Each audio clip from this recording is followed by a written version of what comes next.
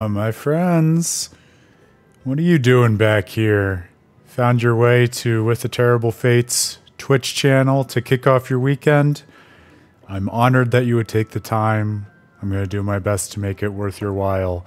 Welcome to Tales of Praxis. I'm Aaron Suduiko, your host, the founder of With the Terrible Fate, your online publication and resource for all of the most rigorous and in depth studies of video games as works of literature. It's a pleasure to be back uh, on this adventure with you, studying Bandai Namco's Tales series of JRPGs.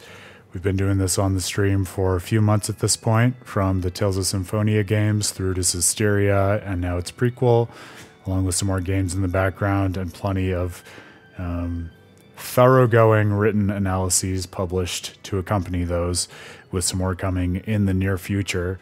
So stay tuned for that. I got a jump scare already. Oh my goodness. Listen, I uh if if I could frighten you with an unusual opening grail, that already has made my night. So I I have to express gratitude to you for that, if nothing else. Um I, I, imagine that most people on the stream beyond Grail will already know Grail at this point as one of our regulars in our intrepid real life JRPG party. So I won't belabor the point. Uh, already gave a little synopsis as to what Tales of Praxis consists in. Uh, I think we'll be able to jump back in with some renewed speed this evening. I'm just looking over my notes to make sure I cover everything. Pottery breaking. Oh, the gang is getting back together. Everyone's here on a fine Friday evening. Welcome. Oh, I'm excited, y'all. Well, then I'm definitely not going to um, uh, belabor the intro this time around. I'll say just a couple things by way of kicking things off. First, because uh, as you know, I'm playing through a, a replay of Tales of Arise to get ready for this lecture that With the Terrible Fate is giving at PAX West in Seattle in a couple weeks. Could not be more excited about that. Um, loving Tales of Arise just as much the second time. Everything we've been saying about how much trouble we have remembering second acts is definitely coming back into the forefront of my mind and being reinforced by the fact that uh, despite how much I enjoyed Tales of Arise's second act, I have a surprisingly minimal memory of it, even though I just played through it a couple years ago. So it's been a delight to revisit that. Um, without too many spoilers, I guess for the benefit of y'all who are watching the stream, I'll say I just reached the point where um, the gang found a spaceship. I guess that's not too big of a spoiler if you don't really know the context. But so that's pretty much at the climax of the second act, which got me thinking more about all of the second act stuff that we discussed uh, at the beginning of the week. And so, one thing that I just wanted to foreground as we dig back into Tales of Berseria's second act was, you know, when, when I gave that little mini lecture about second acts at the start of the week, um, my kind of toy model for talking about them, I was looking back, it largely centered on kind of the way the plot evolves across the three acts. So I had talked about it in terms of the first act being, you know, we learn about the characters and their conflicts, and they set off on a journey where they kind of misunderstand the nature of the world. Then in the second act, they're dealing with the failure of that first journey, uh, and they're making a new plan about how to improve the world and each other. And then in the third act, they finally understand what's at the root of those problems, and they decide how to resolve those problems in a way that changes the world and empowers them to better understand themselves. And I think that's it's like a useful heuristic, but uh, as I was reaching the climax of Tales of Arise's second act, it occurred to me there's also maybe a simpler way to frame it in terms of um, focusing on the way that characters evolve across the acts, which really resonates for me with regard to Arise, and I think might be useful for thinking about other Tales games, and maybe even to keep in our minds as we go forward with Berseria, which was why I wanted to mention it, which was if um, if we want to think about a three act structure in something like a Tales game, um, but just explain it in terms of the characters as opposed to the plot, we could say something like the first act would be, um, you know that we were introduced to characters and the characters are typically more or less isolated and then their preconceived notions of the world are challenged by meeting others. So the first act is oftentimes where you get a lot of that cross-pollination as you build up the JRPG party, whether that's the fictional one or the real life one we're building on Tales of Praxis. And then the second act would be deciding who we really are and what we want before we know what the world is actually like. And Again, this really struck me in Arise because like I think one of the things that's really touching to me about its second act is it's very clear and the characters very clearly understand that they don't really understand at that point what is at stake in like the broad interstellar conflict between Dahna and Rena because they know enough about the world to understand what it is they don't know. But they put in a lot of the interpersonal work in order to decide look whatever the world ends up being like this is what we care about and this is what we want to achieve. And then it's only in the third act where once they discover the world's true nature they apply that resolve that they arrived at in the second act in order to realize new versions of themselves in the new world that they want to create. So that struck me as something that I think might be a little simpler as a way of framing the three act structure, and also is kind of when you think of it that way, especially like reaching a decision point about what you want to do before you really understand how the world is. There's just there's something about that to me that feels very tales in terms of a lot of the themes that the games are wrestling with, um, and and kind of beautiful for that, and so is perhaps worth keeping in mind as we move on with Berseria. Uh, Evie, my dog, clearly has some points of contention and disagreement based on the way she's grumbling in the background, but uh, we're we're gonna have some thunderstorms I think this evening in Colorado, so she uh, she might be grumbly for the duration. We'll uh, we'll make do. We always do, but that was food for thought. Um, well, Grail, I think I mentioned this last time. When I say speed through for Arise, um, it really is a speed through in the sense that, in contrast to the other replays that I've done for Tales of Praxis so far, this was one where because I really did just want to get the story and experience fresh in my head for the lecture, I actually did New Game Plus it. And Tales of Arise was one, like most of them, where my first time playing it, I really put in the work to do, you know, max level do everything, max nonsense. Um, and in Tales of Arise, you might remember they make it even easier to carry over all of that stuff to New Game Plus than the Tales games do with a typical grade shop. And so it's very easy to just absolutely mow down every enemy, um, not worry about a lot of the side quests because most of them don't bear directly on the plot. Um, so I'm almost a little embarrassed at how quickly I'm going through it. Although I, it's it's all relative, right? I mean, I say quickly, but I've probably put in like 25 ish hours to it so far. So it's like, it's all in how you look at it. Um, but I do, I mean, I would say on the whole, and I imagine most JRPG players like yourselves feel this way too. There's there's something special about being able to just live in and experience these worlds um, and reflect on the growth of the characters and the trajectory of the story over a significant chunk of time. I think when a JRPG is told just right, especially one of the longer ones, it uses that length to make the experience more meaningful uh, rather than something that's distracting or exhausting. Like, uh, this is kind of how I felt playing through the definitive edition of Vesperia because I've kind of I've ragged on it a little for being so much longer than the average Tales game, but I think I really enjoyed it for that. So it's it's not my habit and not my preference to rush through them that quickly, uh, and I wouldn't say that's typical of how I'm approaching them for Tales of Praxis. I think, you know, it's more the case that I'm going through them at this speed just because, you know, we're doing Tales of Praxis and this is a big flagship or mothership title, if you will, for With a Terrible Fate. And so uh, I'm enjoying the continuous research uh, and commentary process, and hopefully you all are too. But Tales of Arise is definitely an exception to the rule, but I think it's one that definitely sits well with just the themes of aggressive confrontation of everything that you want to challenge in the world, which is so essential to a lot of the story that Arise wants to tell. So I think uh, if if there were going to be one that I was going to rush through relative to the others, it feels at least thematically consonant that it would be Tales of Arise for what that's worth. Pink Moon Echo, welcome back. It is a delight to uh, to see you back in the chat, my friend. Um, we're, we're getting ready to dive back into Berseria, uh, and it's it's a pleasure to have you back in the chat.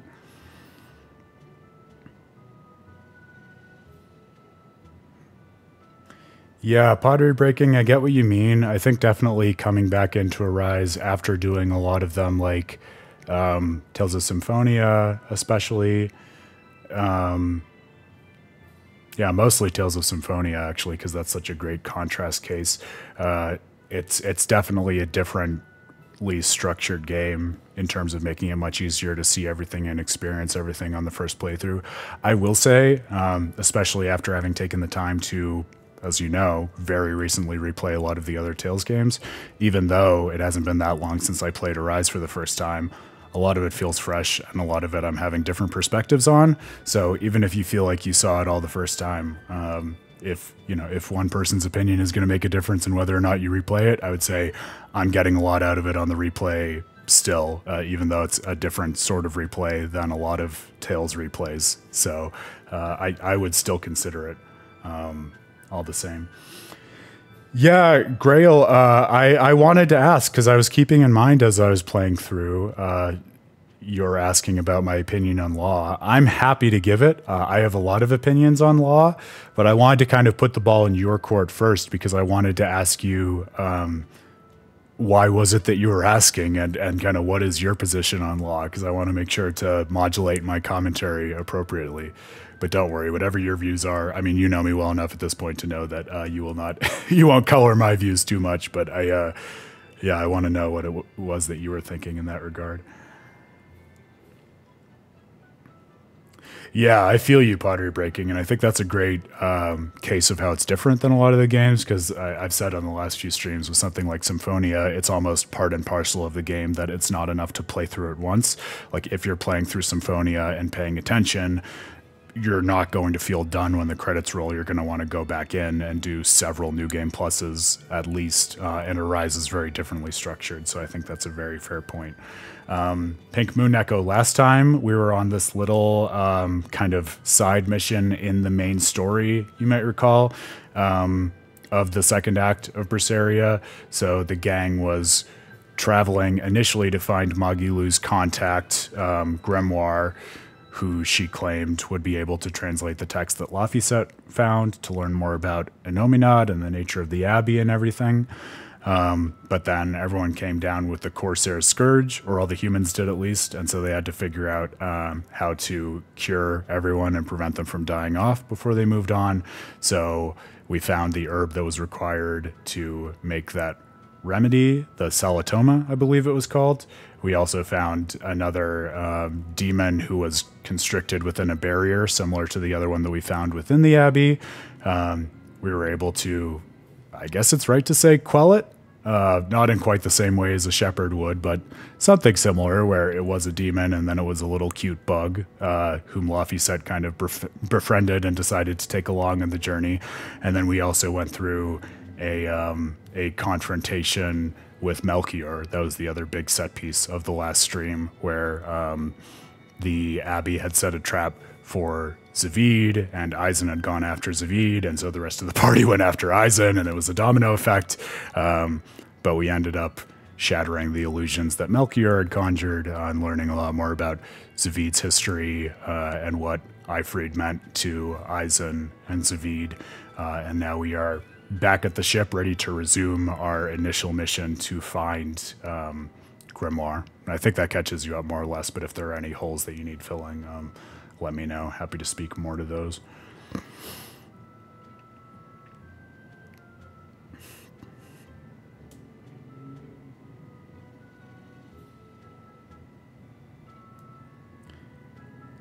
Are you Grail, I'm interested. Are you? Because I mean, I, I I don't engage that much in the fandom. Um, when you say the scene in the fourth realm, are you talking about like the centerpiece scene where Law prevents Rinwell from enacting her revenge? Because it it shocks me that people would crap on Law as a character for that. I um I was actually going to say that's one of the set pieces that really speaks to his character for me and is especially memorable and moving in terms of the like the overall story of Arise and what it is that it's trying to say.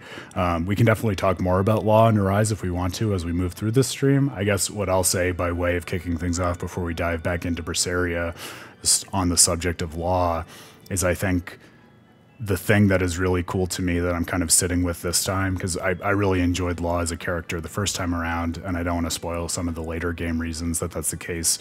But even just starting out with him, I think he's a really interesting case study where there are lots of characters and lots of stories who have to deal with like the loss of loved ones at some point in the story.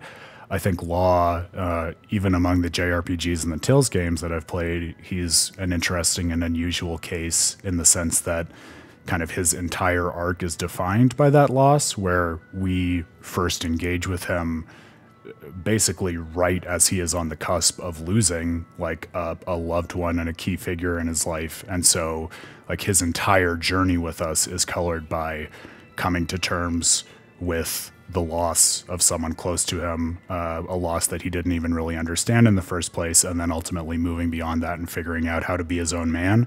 And I think the way in which he navigates that with the support of someone like Alphen taking a brotherly role and Rinwell as someone who sort of has had like a, a parallel um, but almost complementary sense of loss in a lot of ways. I think it's really touching and thoughtful. So I love his resolve. I love how much he's willing to fight through, but I think there's a lot of subtlety to the way in which he navigates those personal challenges, especially when he's relatively young to be dealing with stuff like the weight of sin and not understanding what it means to lose a family member, but having to take on that burden and grow up too quickly and all of that stuff. So I'd say big fan of Law. And I would say, I, I, yeah, I, I don't get people who don't like that scene. I mean, I would I would ask those people to show their work. I mean, everyone is entitled to their opinion, but um, uh, I'll I'll just say, especially having come off the recent Tales games, like I don't remember that scene resonating with me as much the first time I played it, but this time, like, it really sat super well with me. I think the idea, especially where, without going too much into the details of the scene to spoil too much, the fact that Law expresses very clearly, like I don't I don't even really know why this is the thing that I feel like I have to do right now for you, Rinwell. Um, but I know that I have to do it, and I'm sorry, and I hope you can forgive me.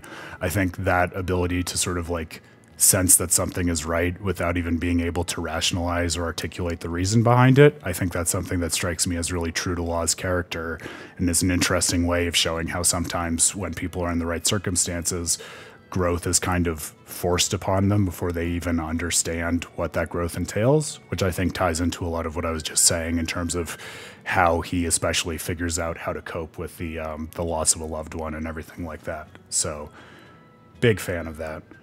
Um, yeah, I, I mean, honestly, I'm I'm glad to have y'all as a little window into the discourse because I um like I said, I kind of stay out of it. Uh, this doesn't encourage me to get deeper into it because I, uh, yeah, I get that, you know, especially if you're a longtime fan of a series, it can almost feel like a badge of honor to be able to be critical of the latest one by comparing it to the later games.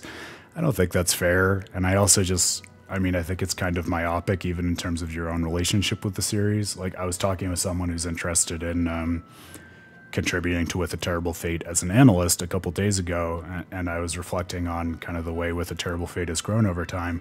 Because we started off in very broad terms as a publication, just talking about the storytelling of video games. And so earlier in our history, those commentaries that we wrote would be critical, sometimes in favor of games, sometimes trying to sort of tear the storytelling of a game apart in one way or another.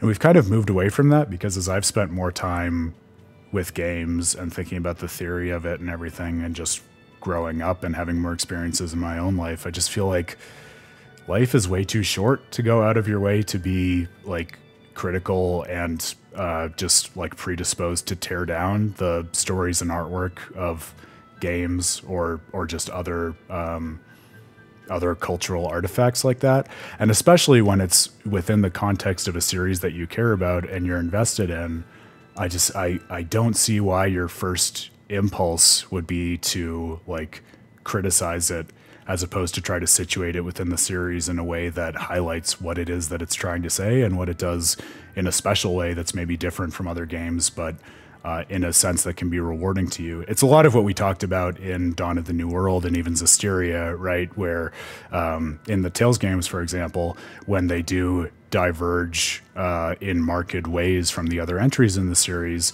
like Dawn of the New World's choice mechanics or the one-on-one relationship or the, you know, armatization of Tales of Zestiria, any number of things like that. Like, yeah, your first reaction could be to criticize the game by saying it's different than the others, but also there's probably an intention behind why it's diverging from the norm of the series, and maybe that's actually core to what it is that it's trying to impress. So, why would you not take the time to interrogate that and think about what the point of that is, especially if you have the background of the other games uh, to understand why that might be a really cool and thoughtful divergence?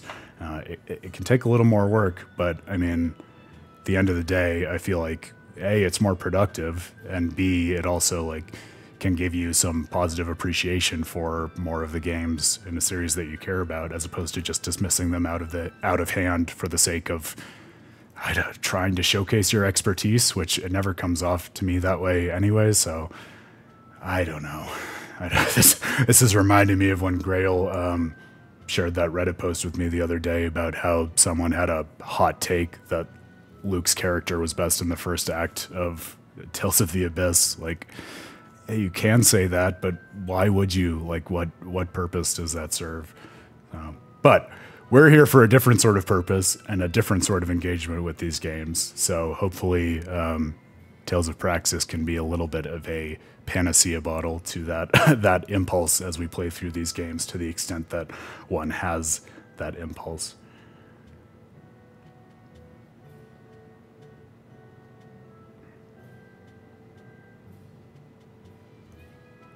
Grail, I will always read commentary that you write about these games. Same goes for everyone on uh, on the stream. So if you want to, you should.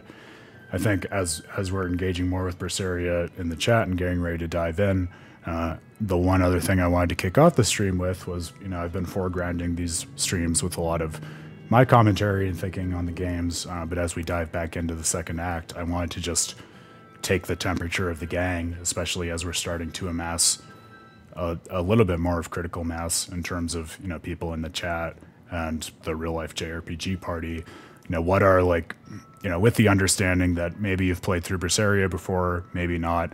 Given where we are in the story right now and where the characters are, what are the main questions that are on your mind, either in terms of you know where the story is going to go or what the characters are wrestling with, or more broadly like how Tales of Berseria is situated in the broader Tales series. Um, like I, I have my own thoughts about the game that I've been weighing and thinking about and talking quite a bit about, but I want to take the temperature of the room in terms of what the most pressing things in the game seem to be right now as we're muddling through the second act, which we've talked about how that runs the risk of being kind of forgettable, and we want to try to avoid that and appreciate the second act for all the places in which it takes us. So I will leave that question with the group. Um, take stock of your responses as we dive into this. Uh, but without further ado, welcome you back again to Tales of Praxis, and we'll get into it. Starting off with the most important piece of gameplay, of course, seeing the outcome of our last expedition. Take a look at this. That's about right. I don't know why I expected anything else.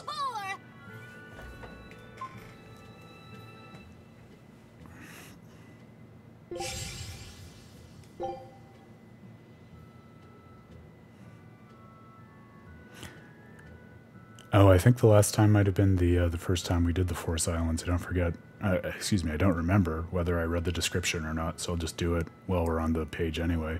A kingdom governed by two races once spanned these islands. The kingdom is gone, but a tragic tale of romance between. Oh my god. Come on. Between a queen and a knight of different races. Still told today. There you go. I don't think I read that. I feel like I would remember it.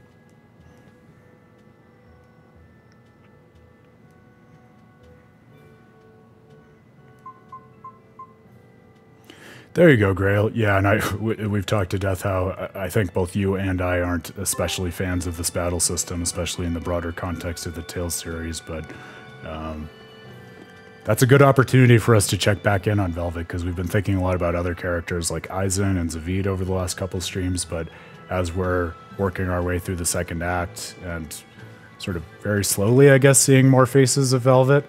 Let's take your temperature. How uh, how are you feeling about her so far in the context of the stream? Are you still uh, not the biggest fan of her? Are you thinking about her in new ways?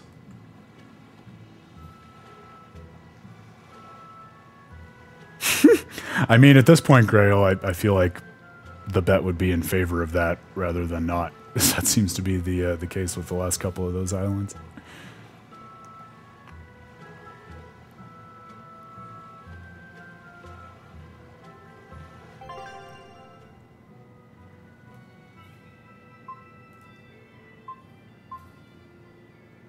Oh yeah, we also unlocked the first class 4 zone at the end of last stream, which is a, a challenge area with demons who are so tough that the Abbey has just given up on it because it's not close to civilization. I think for now, for the sake of advancing the act, I'd say let's let's go on with the main story, but it's good to keep that in our back pocket when we're interested in changing things up.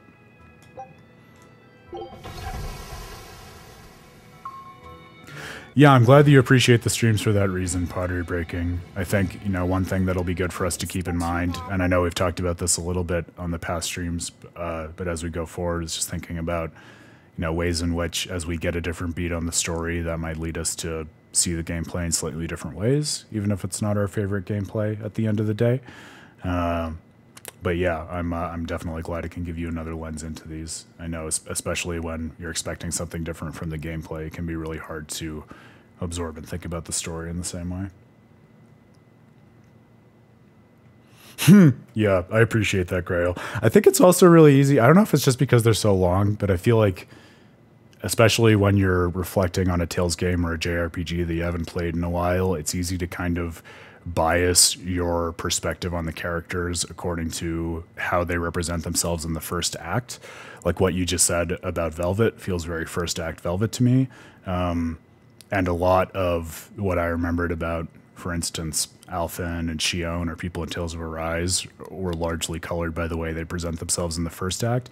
of course, that's not fair because the whole point of these stories is that they have arcs as characters and they grow and they change their minds about things. Uh, but that's that can be one of the reasons, as much as anything, why it's valuable to replay them because I think it's it's easy to turn a character into a caricature in your memory um, because it's it's easier to just hold that initial model of them or maybe where they ultimately end up in your mind as opposed to the overall like development that they represent.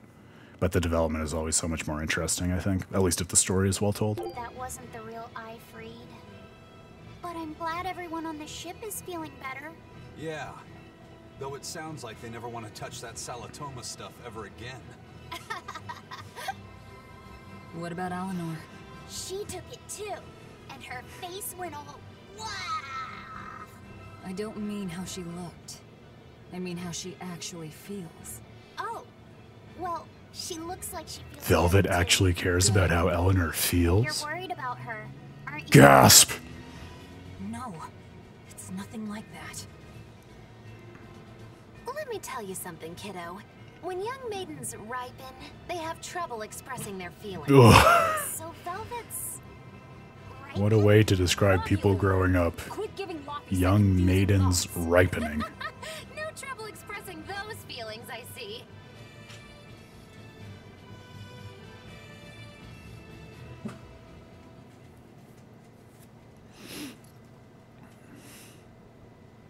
I think one thing that's interesting too, uh, since we're, we're talking about Velvet's development, maybe this can be something to keep in mind as we go forward, because we haven't talked about this explicitly on the stream yet. But you know, we talked about how at the beginning of the second act in Berseria, um, you know, Velvet has missed the opportunity to get revenge on Artorias, and as she's picking up the pieces and trying to figure out what will give her reason going forward uh, to live and persist and everything like that, uh, she immediately attaches to the idea of defending and protecting Laphicet because that's one of her first jobs in the second act is to carry the collapsed Laphicet through the Earth Pulse in which they find themselves.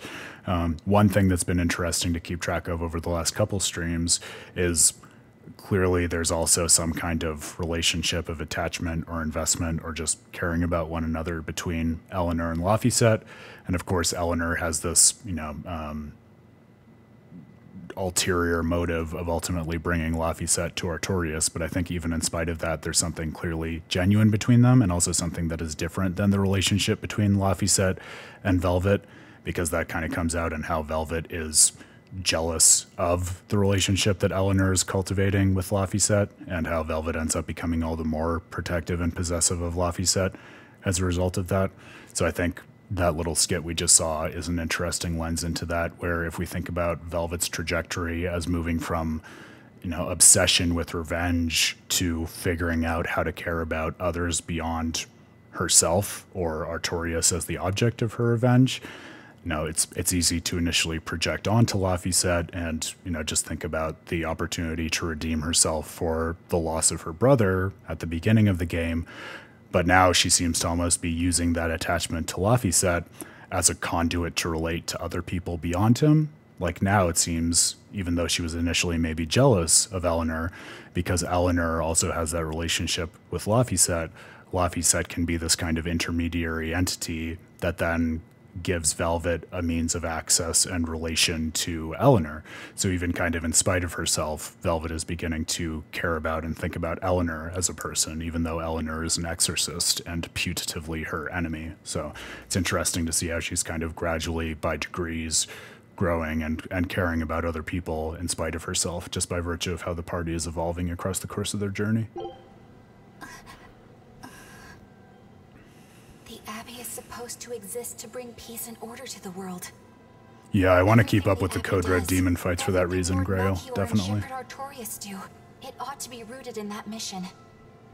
And yet, something just doesn't feel right here. Yeah, that's a great point, pottery breaking. I think it's totally bi-directional. That knowledge is not. Her showing that she has the capacity to invest in someone else definitely um, projects Something something different that the other party members can attach to as they relate to her. To Velvet, I mean. Easy there. Just asking. S sorry. I was just deep in thought. Is there something you need from me? Nah, just heard a bunch of sighs and wondered if you were feeling sick or anything. No, I drank my Salatoma juice. Ah, tasted like crap, didn't it? It... it wasn't that bad. Hey, What? Are you afraid of demons? No, I, I am not. It's more like I despise them. Ten years ago, a group of them attacked my village. They destroyed everything. And everyone. Including your family? Yes. The only family I had at that point was my mother. And in all the chaos, she... Chaos. Keyword. Age of Chaos. All I have left of her is this hand mirror she gave me. I didn't want anyone else to have to feel the way I did. And so I became an exorcist in order to destroy demons. So you can keep your pity. Gotcha. I will then.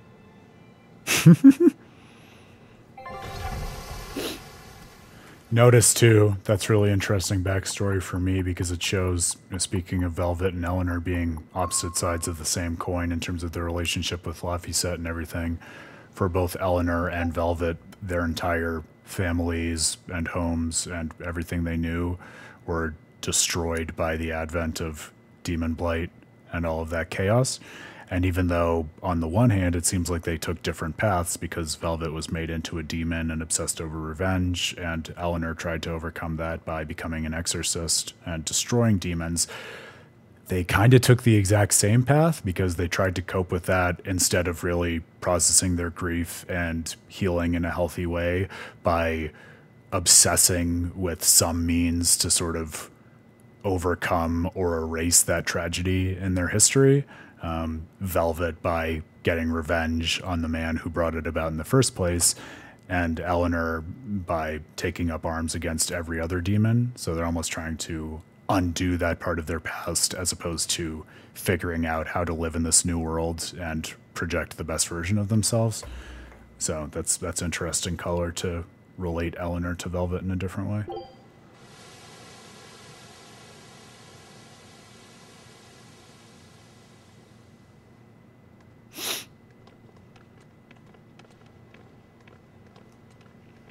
What is that? That's called a penguin, a type of bird native to this area.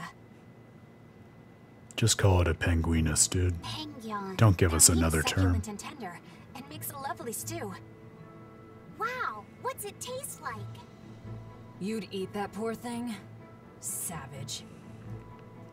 You're one to talk. Although pottery breaking, as we've been talking about the last couple of streams, Eleanor has kind of been de facto banished by the Abbey, even though she seems to think she's doing it under the charge of Artorias. So I don't.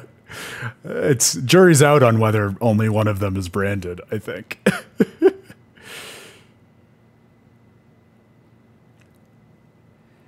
But that's kind of the charming irony that's being set up, at least so far in the story, right, Grail? Is the fact that even Laphicet, even though Laphicet number one was 86th, they have this opportunity to uh, somewhat naturally become bonded over Laphicet number two. Demon. It was one of my mother's specialties. All right, enough of the Oh. chit chat. Magilou, what's this Grimoirh friend of yours like? Hmm. Well, how do I put it? oh. You know, like that. Ah, yes. Now we all understand. Well, to put it in a way those of meager imagination can understand, Grim's got a sort of listless, aristocratic air about her. A noblewoman in her twilight, you could say. Huh. So you mean like a woman, but different from Velvet and Eleanor? You're not wrong there. Tell you what, just keep an eye out for a grown woman. Uh, grown woman. Okay, I got it. Well, since we got her name, we could start by asking around. Exactly. Now you're talking. What's up, kiddo?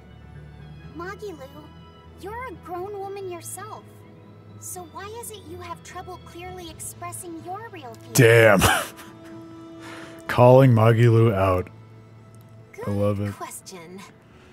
Put simply, a long time ago, mine broke. Bagow! Chapoom! Bye-bye! I'll take most zealous things to say for 400, Alex. Come on. Let's question the townsfolk.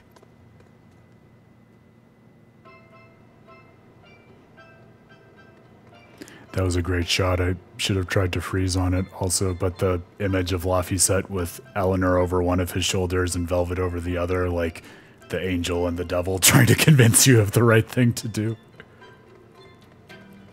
Not to be too on the nose about it, but it was right there after all.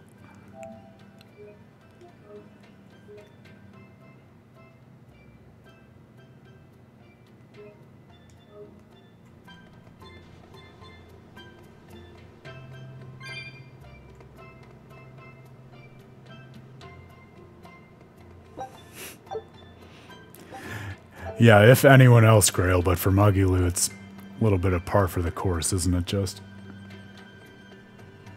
Mm. Let's talk to this fella.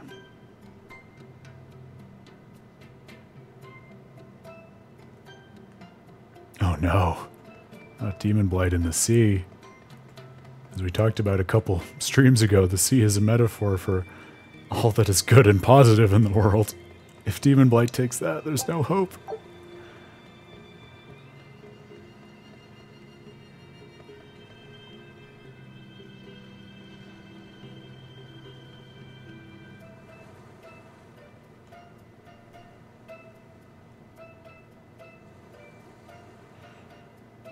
This reminds me a little bit of the um, the Destiny Islands from Kingdom Hearts or I would also accept the um, the first town that um, Tidus shows up at after he kind of goes through the portal at the start of Final Fantasy X, where he meets Yuna. I'm, it's been a minute since I played that, so I'm blanking on the name of that town, but a similar tropical vibe.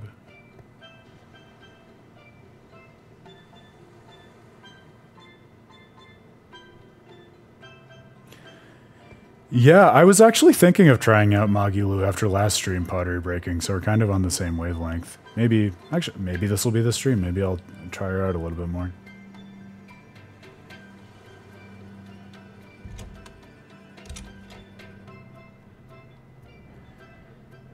Which Breath of the Wild place are you thinking of, Grail? This doesn't feel Palmacosta to me. This feels too much like tropical island. Like Palmacosta is a coastal town, but it feels much more like a city.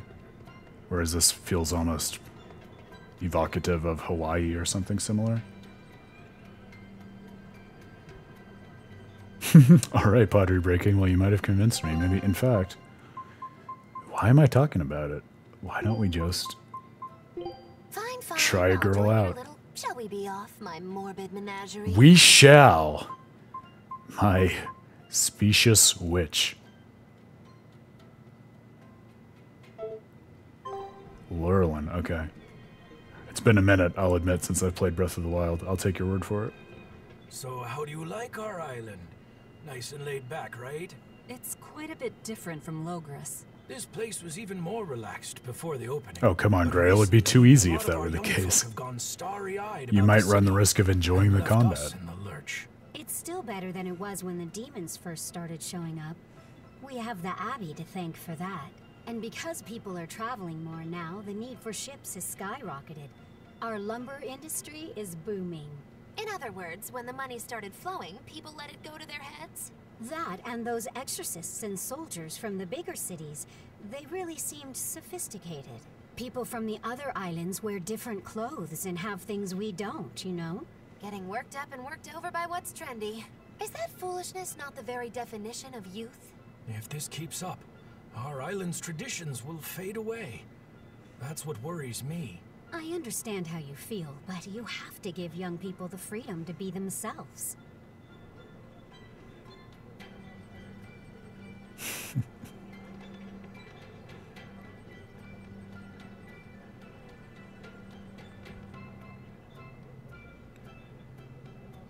Yeah, I'll be excited to try out this break soul. Reminds me a little bit, I'd forgotten um, Rinwell's special technique in Tales of Arise, which is very similar in terms of literally stealing enemy spells, which is a lot of fun.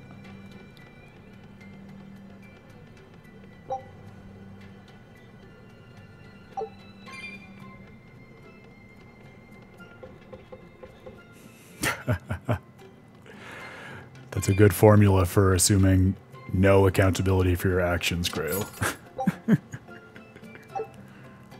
Pottery breaking, you are absolutely correct. Good on you for calling Grail out. Don't let him get away with that. Not even some kind of challenge run. Grail, why don't you, for the benefit of the group, remind everyone of the exact kind of challenge run that you're doing because it is hot nonsense, to say the least.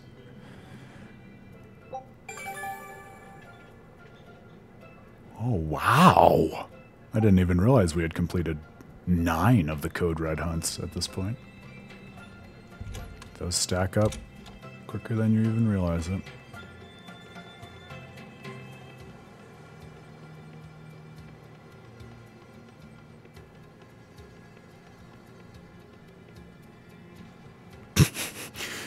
Grail, that's like by that flaccid logic, you could also say it's the game's fault because the game gives you the option to play as her. Therefore, if you have a bad time, it's only because of the game.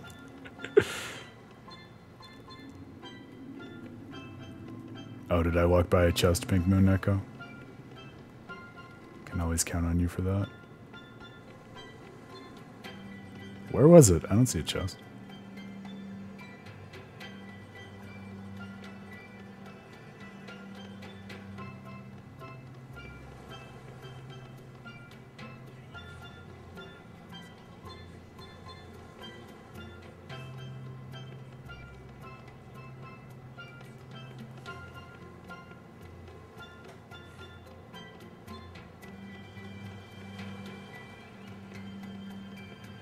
where I started.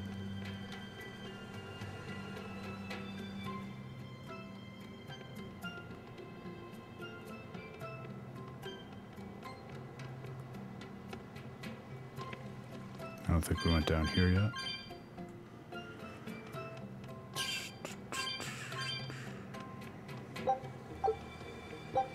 Red lavender. Don't mind if I do.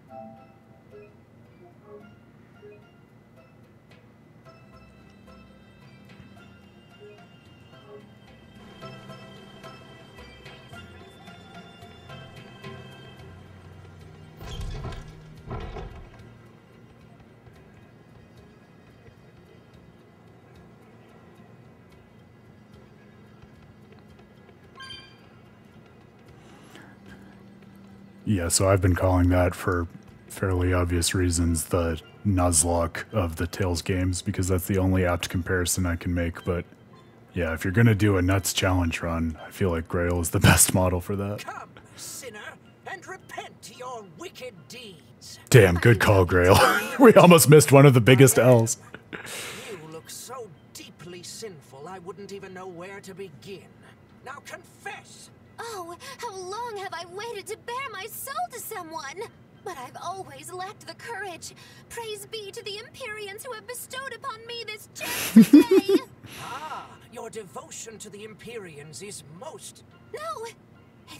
You who has captured my devotion, my darling. There's no one else I want but you.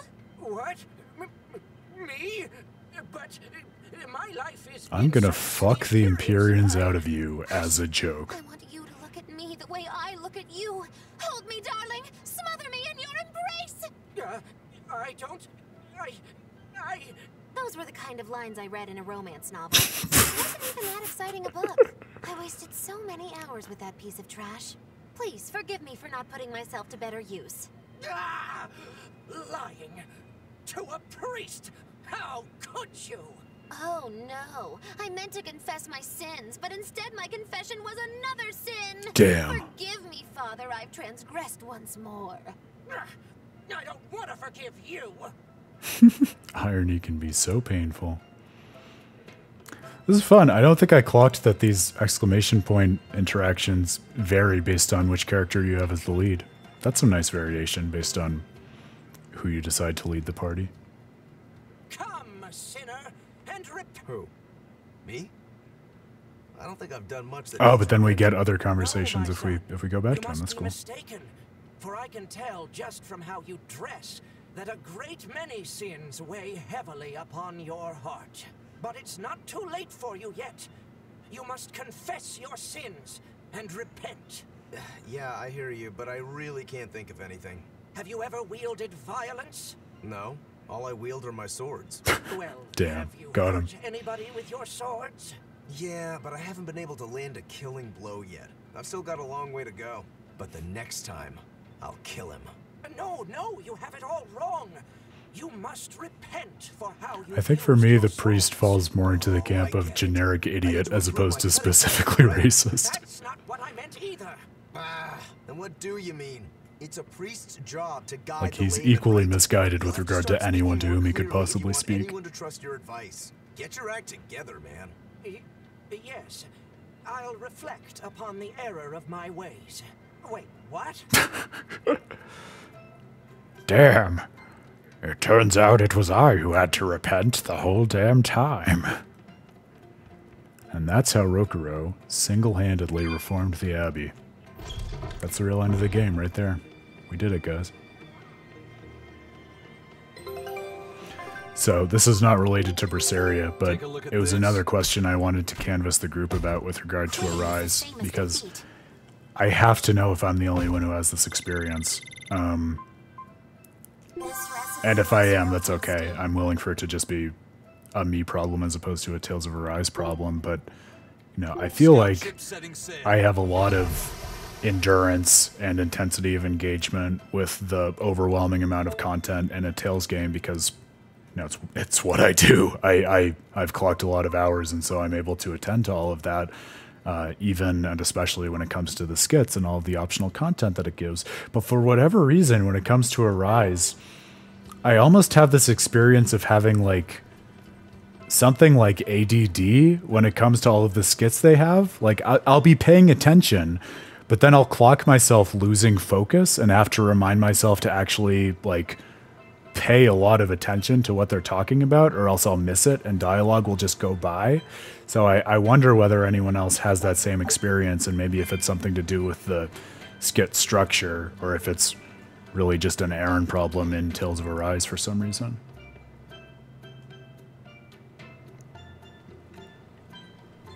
Oh, interesting pottery breaking. So you think maybe it's just a problem of uneven volume?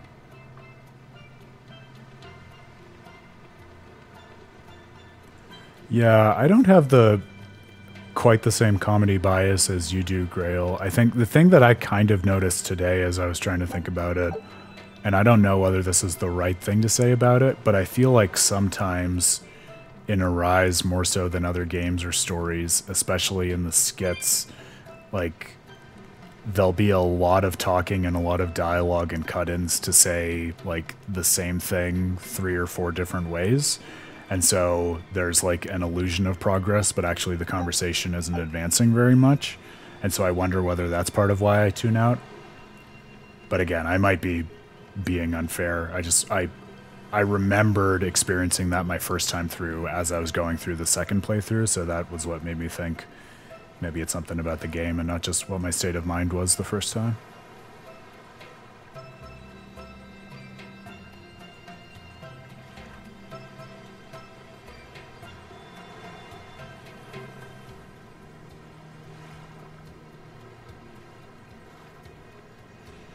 Yeah, that makes sense, pottery breaking. Maybe that's part of it. Still no leads on that Grimoirh lady. I'm going to take Grail's lead and, and call you pottery instead of pottery breaking. I think that'll roll off the tongue better. Hmm, hard to say. It must have been last year? A decade ago? Take this seriously or I'll feed you to the sharks. Oh, what? I think I'd at least rate a kraken. Keep this up and I swear I'll eat. It's them. The final preparations are complete. Once you've assumed your new post, everyone will act on your command. It's so sad that poor Oscar still has only one functional eye. But to be honest, I worry that these shoes I'm filling might just be a bit too big for me. You need not worry. You possess a special strength and quality that others lack. yeah, that as much as anything is reassuring to me, pottery, so thank you. Deployment to Palamedes. Fear not. Just be yourself and you'll do fine. Believe you're a leader. yeah, I remember Grail from the first time you were saying that. I'll try to make you proud, sister. They're sending him to Palamedes? Is that the name of a facility on this island? I had better get going. Safe travels.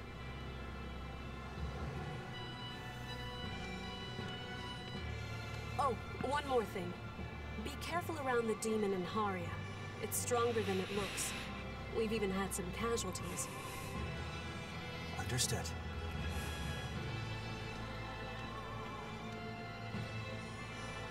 Also, if you must drink the water, remember to boil it. Sister, Sister mom, taking care of her brother. I know, I know, I worry too much. But I just Is she just Velvet with Laphicet?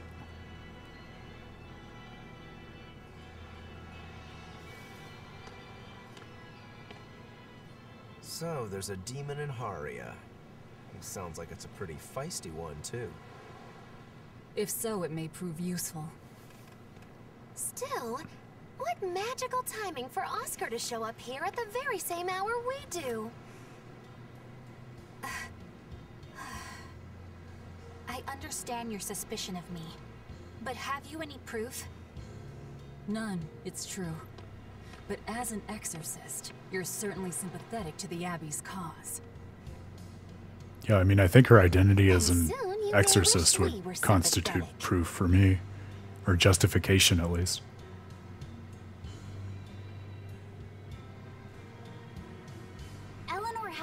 Snitching on us. I'm sure of it. yeah, it's almost it's almost like Velvet is the focal point of the game, Grail. no, that can't be right. No, I don't. I I always stay outside when she's taking a bath. And then isn't it possible she's communicating with the Abbey in secret while you're not there? Boy, Magilou is really pushing an agenda this stream. You pledged to obey me until the day you die, correct? Yes, that I did.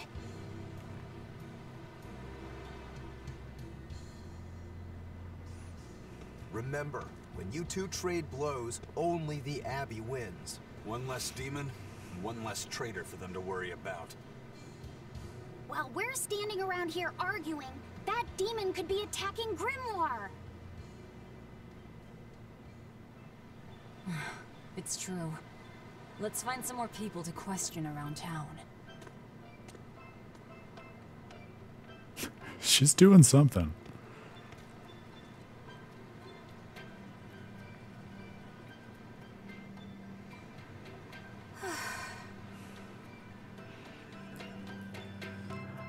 I think it's a testament to Magilou that she somehow finds a way to be pure chaos even within the context of an extremely chaotic party. Like she's just a cut above the rest. So rest. what's it really like? Speaking of skits, The connection between Malak and Vessel. Do you share, like, thoughts and feelings? Um, sort of. When I'm dwelling inside Eleanor, I can see what she sees and hear what she hears. But I can't read her thoughts or her emotions. Sitting in a box doesn't teach you how the box feels. I see. it's pretty profound. In that case, I want to give her as little time alone as possible. Uh, I don't want to bathe with her, alright? I know. Thank you for clarifying. You're a boy and all. For her baths, we can send Bienfu. No, that's a bad idea. It'll have to be Magilou. Boy, we're really doubling down on this joke, aren't we? What sort of boundaries have you and Eleanor drawn? How do you sleep? we talk before bed sometimes. But it's not like I'm sleeping by her side or anything. It's easier for me to tell when she wakes up if I'm dwelling inside her. Does she ever get out of bed at night? Oh, that's weirdly ominous, Grail. I don't know if I'm looking forward to that or, or fearing it. When she's around you Time will tell, I guess. She always looks so stern. But when she's sleeping, her expression is softer, you could say. She lets her hair down too. And I think it's kind of prettier that way. Huh. So that's what he likes. Well, keep an eye on her, but But, watch out for the older girls. huh? Teresa and Oscar sure seem close. I've known them since I was an initiate, but I've never seen them quarrel, not even once. Did you ever fight with your brother, Velvet? Yeah, I guess I did. Sometimes I'd chew him out. Yeah, he'd asked and and answered, stop Grail. me, Exactly. But I found that adorable too. You did? No matter how much he dug in his heels, or tried to talk like he was in charge, after a while he'd be right there trailing along behind me. Like a little puppy dog. Puppies are a lot more obedient. I always had to keep an eye on him. Little brothers are odd creatures. Rokuro's a little brother. Is he adorable too? Huh? I don't think a little brother who's out to kill you is in any way adorable. I mean, Shigure might Shigure think he's adorable. Like he was having fun. Yeah, I was gonna say. Sometimes That you tracks. just don't make sense. Huh? I don't know. Little brothers. Do you have any siblings? I'm an only child. Well, then that's perfect. You pretend the boy is your little brother. Huh? That's a bit extreme, but actually, when I'm talking with Laphicet, sometimes I think this is what having a brother must feel like. I could be Eleanor's brother. Don't take any of this nonsense seriously, Laphicet. Malakhim are just tools to exorcists. She can never think of you as her brother. Oh, yeah. You're wrong. I've changed how I view Malakhim. I know that's true because I can think of him as a brother. Tell us how it goes, Grail. Alright. Tell us how it goes. She's all talk. Don't believe her. It seems to me like you're the one who's treating him as a tool by forcing your own opinions upon him. Ooh, two sisters struggling for the affections of their brother. Eeny teeny candlestick. Which one will the That's what I was gonna say, Magilou. Stop stealing all my lines. How about an older brother instead?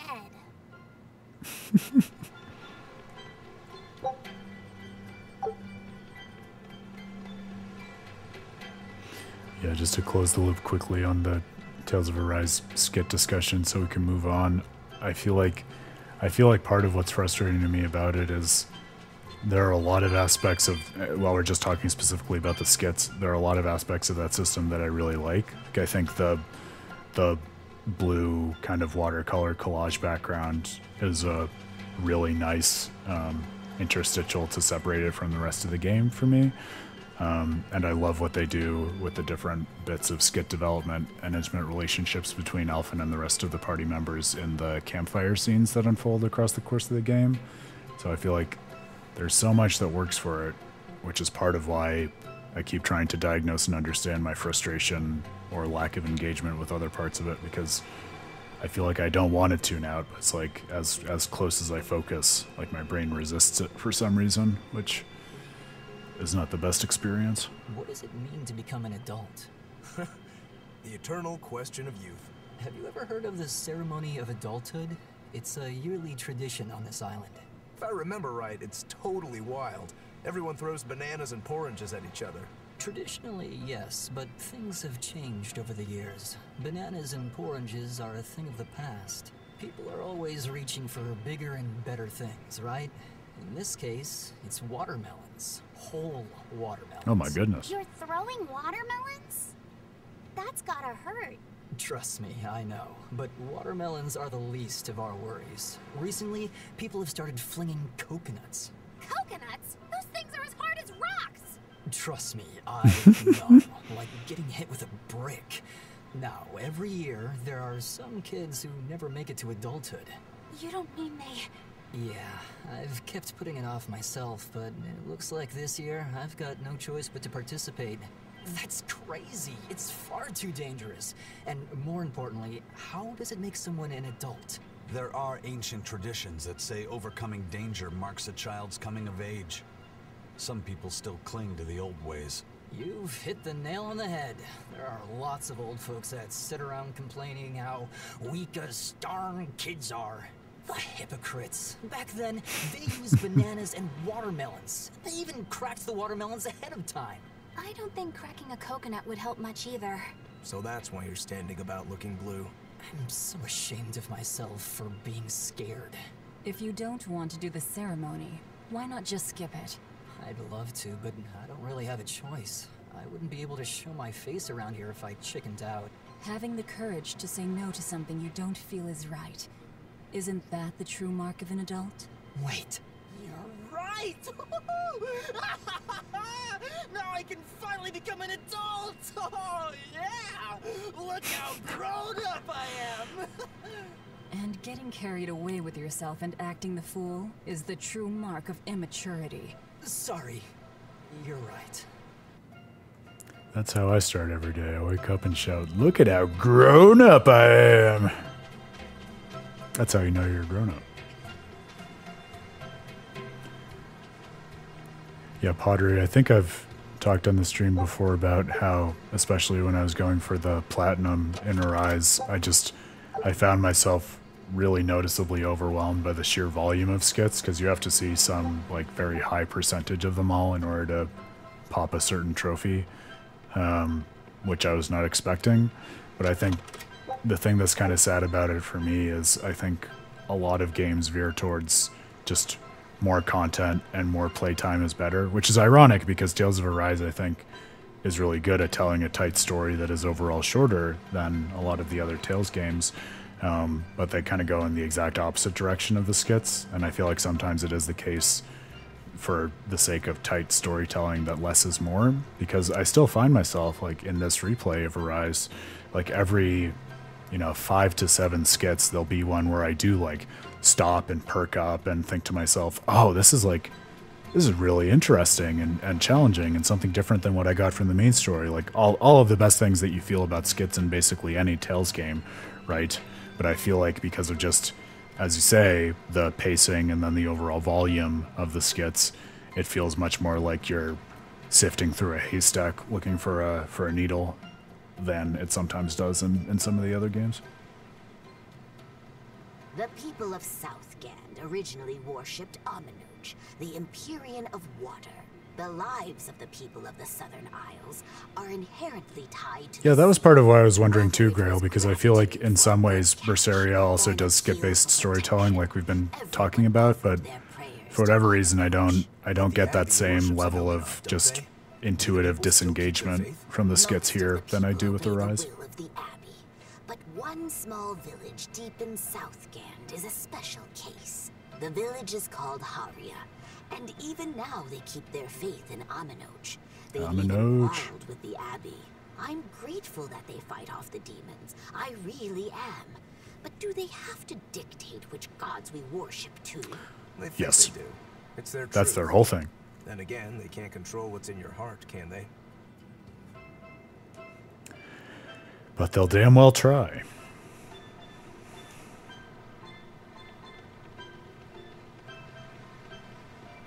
Wrestling with the nature of your heart. Damn. Is this town really just the Destiny Islands from other game?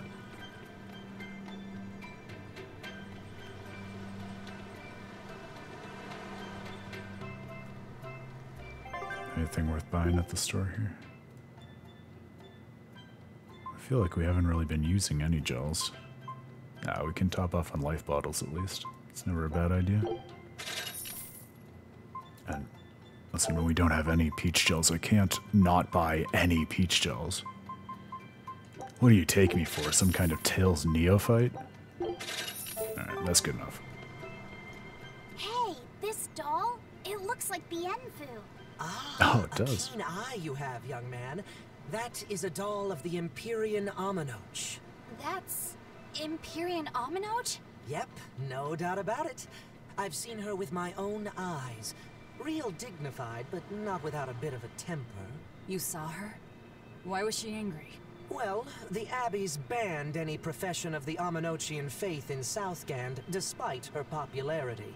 Gotta assume that's what got her all bent out of shape. I tried talking to her, but no matter what I said, she was just like, They're all slightly different, yet amount to the same thing, Pottery. Oh. Wait, that sounds like. And that low energy goddess you saw? The doll you've got here looks like her? Yeah, more or less. Ha! Fortune smiles upon thee, weary adventurers. That listless goddess is none other than Grim. Oh! Grimoirh isn't human? When did I ever say she was? So, Got 'em. shopkeep, where'd you see her? I think it was down by Maclir Beach. Pensively watching the tide come in? That's her, all right. Quickly, to the beach! Ugh. Why didn't you mention Grimoirh as a Malak before now? You can't be too careful with that information. Spies, spies listening everywhere. It was fun to remember gold gels in Tales of Arise. I had forgotten that was a thing. Can we just stay and hang out with our penguin friends? Let's call this the end of the game. They lived happily ever after, hanging out with the penguins in the Destiny Islands. She's waving at them. That's cute. I love that. I love that for you, Magilou. She doesn't know how to be authentic and unfiltered with other people, but at least she can be herself around the penguins.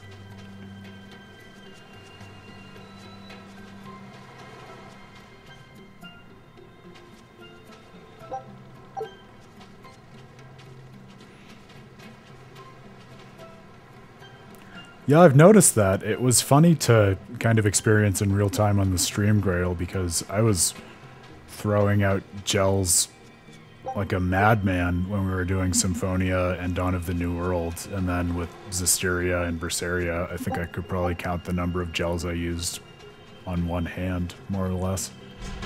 It's just a different design philosophy, right? Because there are a lot of different pat, um, battle techniques, some of which are conducive to healing in uh, in the more recent games.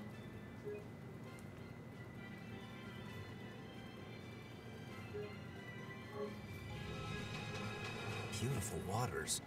So this is Maclir Beach. I hope she's actually here. On to battle!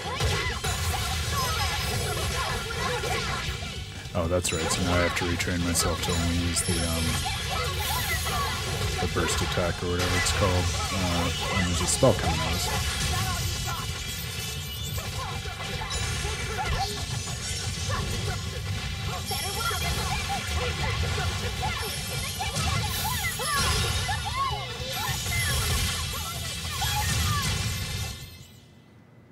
You really do have a peculiar air about you. Yeah, I don't think you're one of them. Very different to be pivoting into the role of a caster and not have to run right up to enemies to deal with them. Oh, we get a tutorial. Excellent. Break soul. Yes, that's what it's called.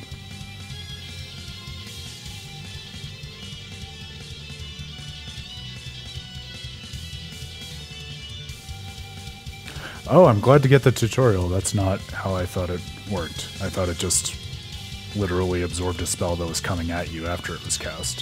So it's so it's basically the same thing as Rinwell's um, ability. It like cancels spells that are actively being cast. Fantastic.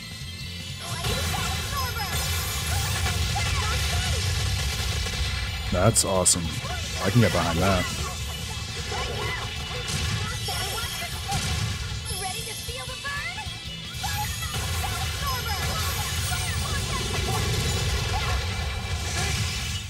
It's a good question why they waited, Grail.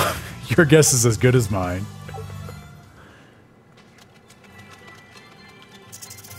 Maybe it's part of the capricious nature of the world. They want you to suffer and feel lost before they actually explain to you how to navigate things.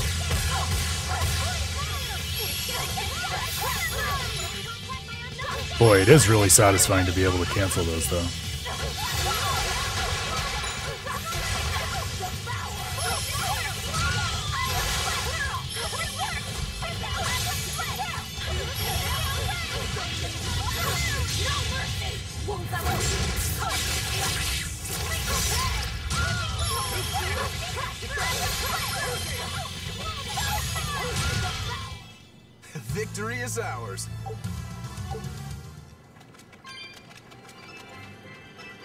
Lie, it feels a little bit like easy mode right now, being able to just turn off enemy spells.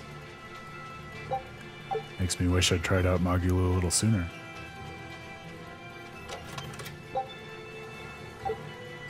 that is such a specific simile, Grail.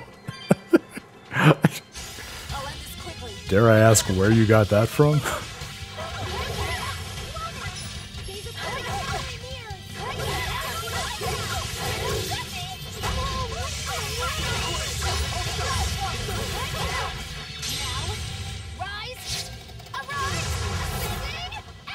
Well, you get major creativity points then, my friend.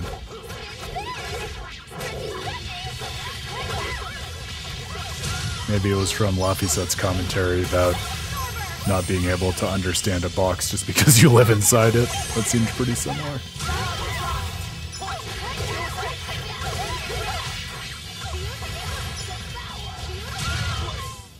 I hope I did a good job. It's such a silly mystic art. I love it too. Think I mentioned last time it's probably the second funniest to me that I've encountered recently after Dex's from Dawn of the New World, which is just top notch comedy.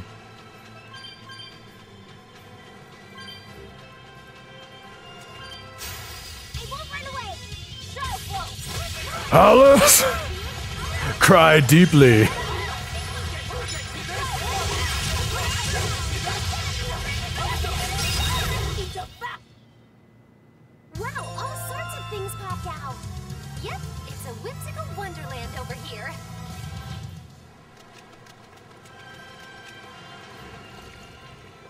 Oh, I see what you guys are saying about the Mystic Art comparison. That took me a second. yes, I, I feel like that's something where you really have to want to see it, but then once you see it, you can't unsee it. So thank you for shattering that uh, that window for me. Is a Malak like Bienfu, right? To be honest, I don't see how someone so different can be a Malak just the same as Laphicet or Eizen. I understand your doubts. It's quite the tangly mess. I'll tell you anything. In that case, I've been wondering, what's underneath your hat? Oh no! Anything but that! Secrets! So, Lots of you've hit a secrets. wall already. But that ribbon flaps around and gets in the way, right? Could I take it off for you? No!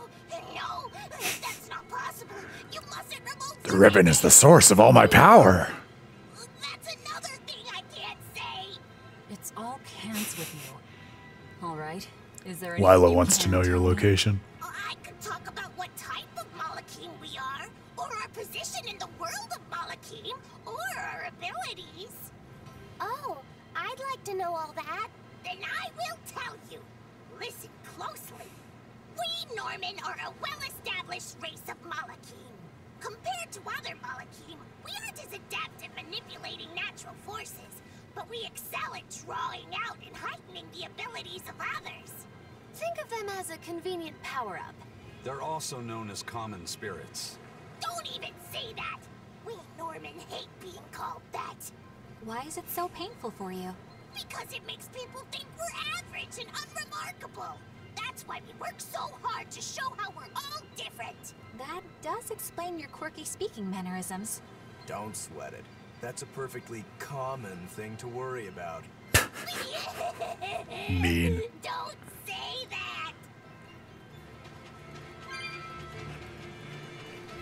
See, I know we've been giving Bienfu a lot of crap, but I feel like the poor guy is batting at a bit of a disadvantage because, you know, you think of someone like Mew, right? And yeah, Luke gives him a lot of shit, especially early on, but at least, like, the other members of the party are more understanding and kind of on his side and willing to treat him as as someone on a par with them.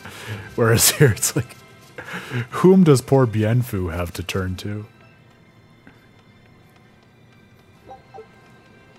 Magilou on the rare moments when she's not like severely abusing him, I guess.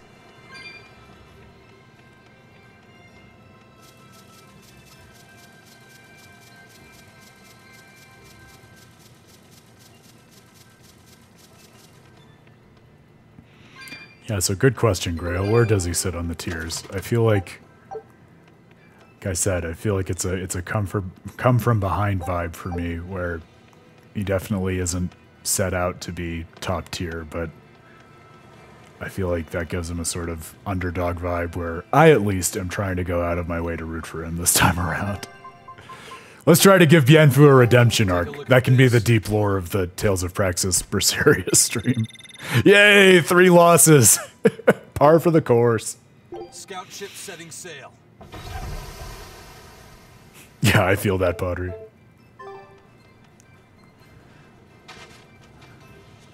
I feel like a lot of the sillier characters in the Tales corpus are able to pull that off. Like either there's a sense in which they're actually enjoyable or they're just so out there that it's something that wraps around and you can enjoy. Probably keeping their eggs warm? Most likely. They look like a mama and a papa. Penguins are monogamous, faithful creatures.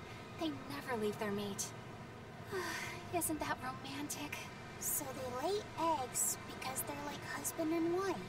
But how do they make Hootle is god tier and I would die for him. I'll say it. You want me to say it? I'll say it. Hootle's the best. Here's an interesting fact. A single penguin egg actually contains dozens of smaller orange eggs. You're right. Bienfu does oh, not compare to someone like like Hootle. small and crunchy? Yep. They have the texture of caviar and the rich flavor of sea urchins. Interesting. So they're more like fish than birds. So you've eaten them. How cruel. Look how much they care about their young. While it may be a bit cruel, they taste amazing.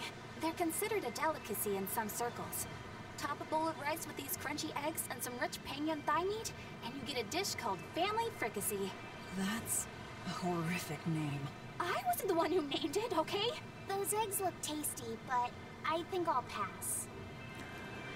It's true, Pottery. I said it last time, but to not only be so cute and so expressive, but then also to be the first party member to really stand up against Vholran, and then also to have such a touching and heartwarming, like unexpectedly meaningful arc with like collecting and befriending all of the other owls. Like, try to tell me one way in which Hootle falls short. I dare you. I double dog dare you. You will not succeed.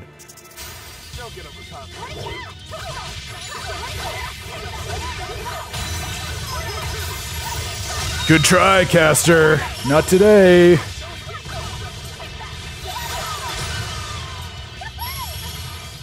You're not making me more excited to finally get to Xillia Pottery.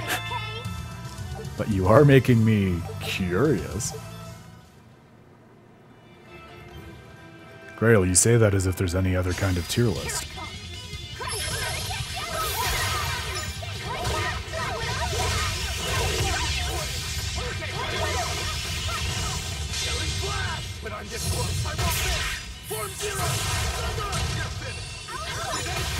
I was thinking it might be fun, maybe, when Tales of Praxis is all said and done, to do a kind of, not even a tier list, but just a bracket of like randomly pitting one game up against each other. Not really to say this one's better than the other, but just as the opportunity to kind of do comparative analyses between them through a sort of different lens. So I don't know if I'll end up doing that, but I figure it, it might be a fun way to have some follow-on content.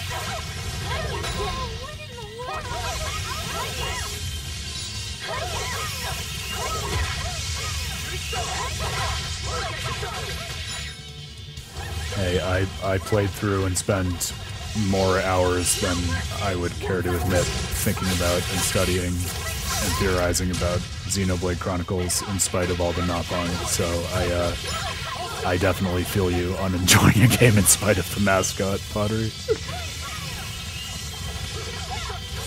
yeah, I'm feeling what you're saying about the combat system being much less fun once you get down to one soul also.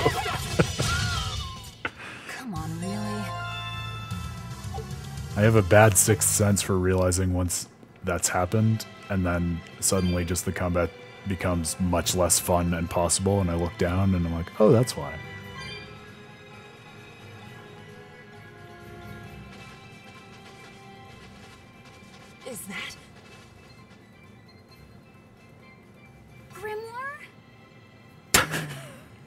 Yeah, Grail, exactly that. That's the deep lore of Tales of Praxis. It's just a front for Abyss propaganda. Obviously.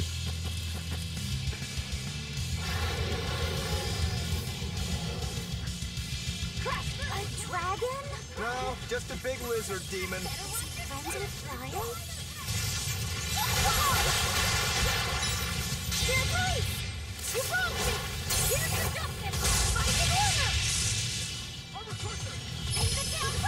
It must be hard to be a streamer who actually, you know, runs on and tries to bring people in based on like vapid entertainment or like stream worthy personality. I feel like see I feel like I'm punching up because I'm really just trying to run a book club with some like-minded thinkers and gamers, which is a uh, a much more manageable hurdle for me and something that is much more rewarding.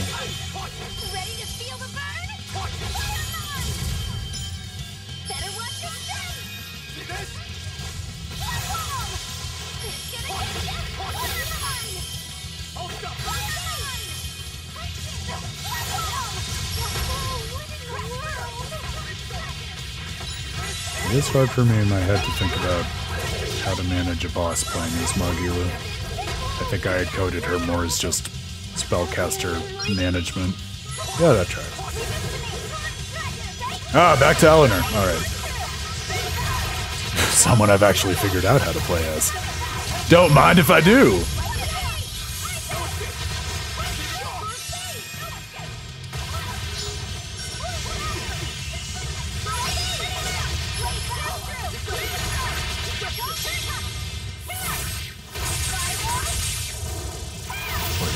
Just did not want to go.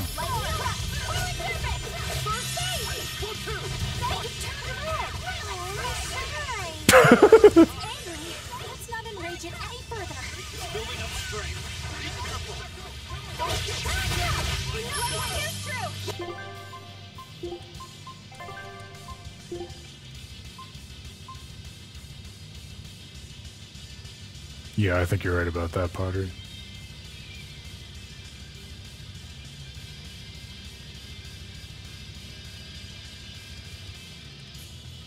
Oh, interesting, Pink Moon Echo. How so? Just in terms of their uh, like their moral convictions, or um, what dimension of similarity are you thinking about?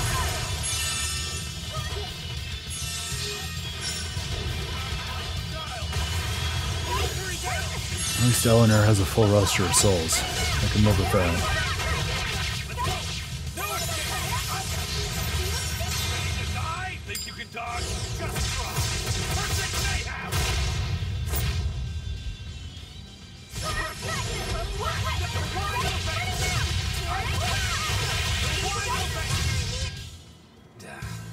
Was tougher than I would have liked. Wait, so Grail, are you are you saying that Eleanor is inferior or superior? Because I don't I don't think we're all quite tracking what it is you're trying to say. oh, interesting. Similar combat styles to Pink Moon Echo. Yeah, I hadn't quite noticed that.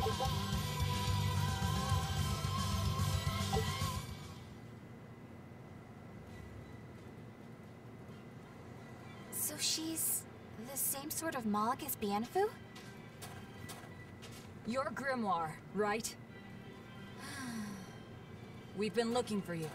We need your help. Big Hat Logan wants to know your location. Who are you? I'm Velvet. I know your witch friend. Oh. Grim, so wonderful to see you. It's been forever! Ah, you two. Still as outlandish a pair as ever, I see. How exactly do you know her? Witch training? She was an upperclassman. And? We found this fascinating ancient tome, and we were hoping you could read it for us. Goodness, Magilou. You, of all people, joining a team? I didn't know you had it in you. Eh, that keep me entertained. Well, I don't need entertainment. Bien! Come on, Grim! Isn't there any way you can help us? It's not the kind of thing I do. Oh, what a shame. Things happen. Well, we tried, didn't we? Maybe you need some incentivizing. Do it. I'm begging you. Serious. I bet you are. Make my day. Your eyes tell me you're dangerous. Trouble follows you like a hawk tails a rabbit. And at my age, trouble is something I'd rather avoid. How old are you?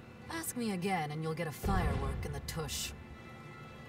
Uh, my apologies. It appears we've wasted our time. A walk on the beach is never wasted, but sorry.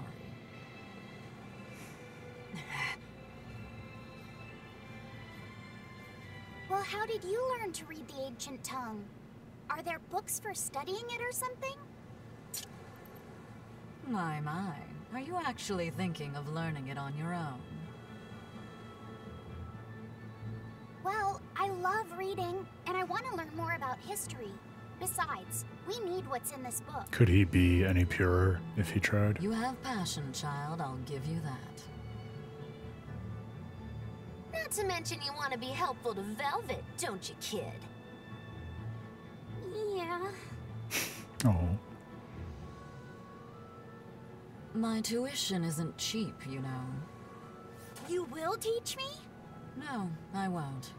But I admire your dedication enough to read it for you. Now where's this book? Yeah, but other than that small distinction, Grail, totally the same. ma'am. You needn't be so formal. Sad how much I feel that. Oh, uh, yes, ma'am. Er, uh, not ma'am. Right. Let's see what we're looking at here.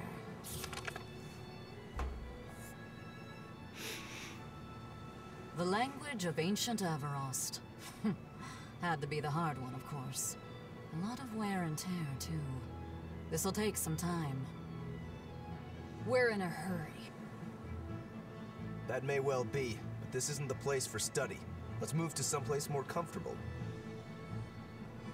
Hmm, you've redeemed yourself, young man. There's a village called Haria just a little ways away. That works. Thank you. Fine. Haria Village. Whatever gets the job done.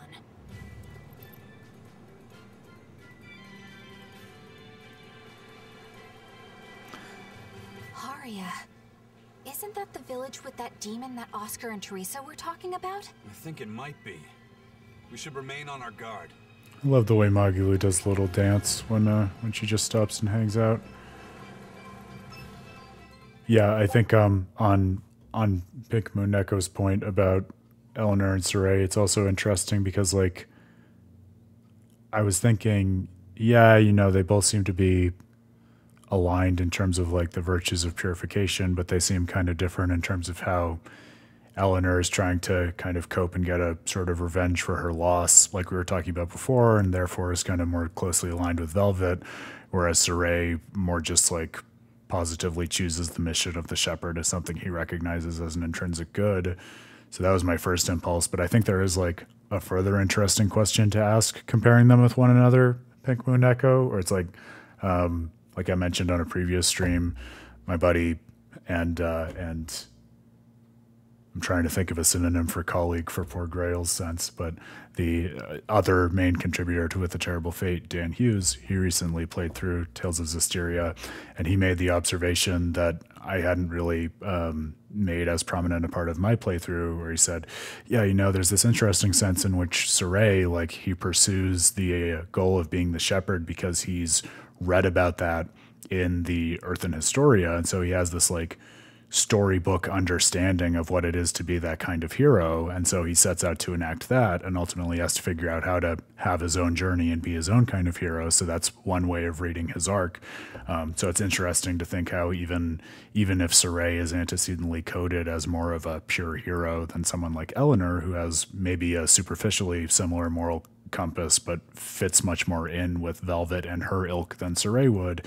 Maybe they both had some kind of similar or at least consonant um, misunderstandings of the roles that they were taking on when they first accepted those roles versus what they grew into over the course of their arcs. I apologize if I'm being rude, but I have to ask. You're not Amenoch the Empyrean. I mean, Grail, that's par for the course for you at this point, though, to be fair. So it's on you for expecting anything else. A shop in Yseult was selling Amenoch figurines that looked just like you. Oh, that. I distinctly remember whispering to the shopkeeper in his sleep, telling him not to sell those things. You showing up in his dreams probably only convinced him you were the real deal. You should sue for his use of your likeness and get proper compensation from that shopkeeper. Forget it. It's no concern. Yeah, you're right. It's not like they'd ever sell anyway. Oh, you think a figurine of mine wouldn't sell? You got this whole somber we think going on. I too have this whole somber ennui thing going on.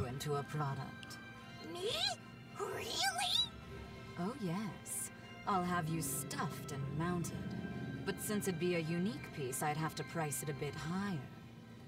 Mounted? No, no, count me out! Oh, you're no fun. Now, what was it we were talking about? Whether or not you are the Empyrean Amenoch. Ah, yes, that's right. I'm no Empyrean. I'm just a simple girl. it would be hard for anyone to worship an Empyrean like me, right? That's true. oh, uh, I mean, it just seems like you're the type who can see through anything, so perhaps an Empyrean seems less intimidating from a certain point of view. You're saying I'm scarier than an Empyrean? Not scarier exactly, just more of a savvy sort of woman. That's not a bad answer, but it won't get you out of the doghouse. There's no good answer in that situation, Eleanor. Ah, poor Grail. Yes, probably sounds like it's a worthy time to step away and take a break. God knows I've been there. You've seen me be there on the stream, so sometimes it's better to cut your losses and just reset.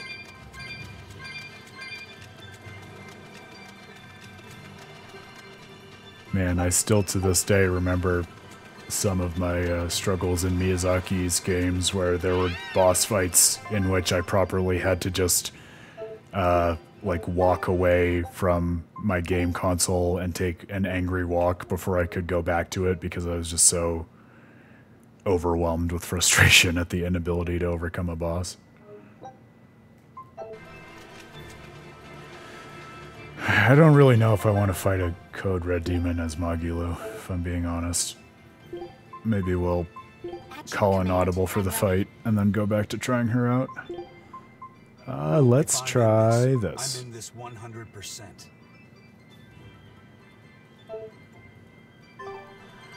Yeah, the um is it the Duke's Ocelot? Is that the name of the kind of dragonoid creature in the um in the Crystal Garden in Dark Souls 3? That's one where like the first time through it didn't give me that much trouble and then in my most recent replay of Dark Souls 3, it was like oh my god, I I I had to leave and literally walk away and just clear my head before I went back to it.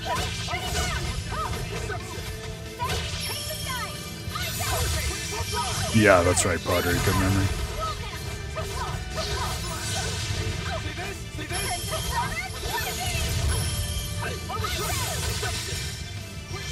That and um, all of the bosses in the Scholar of the First Sin DLCs of Dark Souls 2, of course.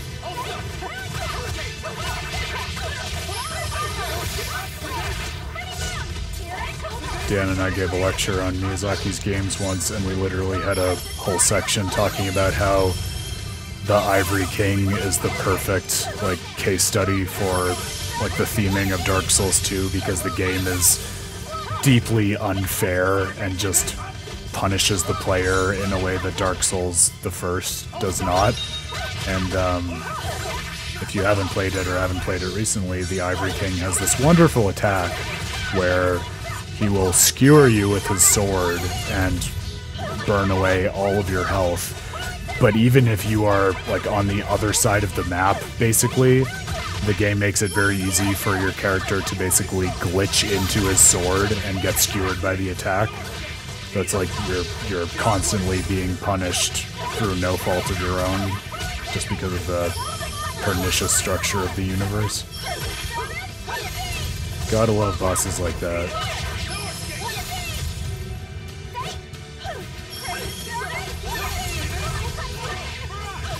Yeah, Pottery, I think I already made this comparison with you in terms of the definitive edition of Tales of Vesperia, but I really feel the same way. I think the more I'm thinking about it between that and Scholar of the First Sin, where I think the DLC and, and added content kind of fills in a lot of the thematic gaps in the story of the base game in a way that really kind of empowers you to get a lot more out of it. So definitely get it on your being worn out, but I would echo your sentiment in terms of it being definitely worth it to take the time to go back to it at some point. Especially with the uh, the whole additional ending that they added as a result of that. I think that really helps to make a different layer of meaning out of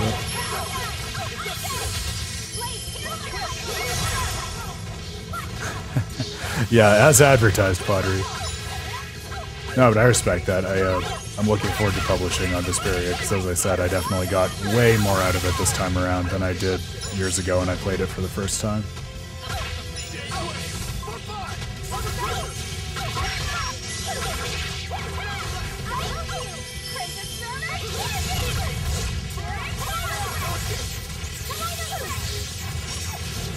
Yeah, I can see why you'd be annoyed by this one, Grail a little more irksome than some of the other ones have been.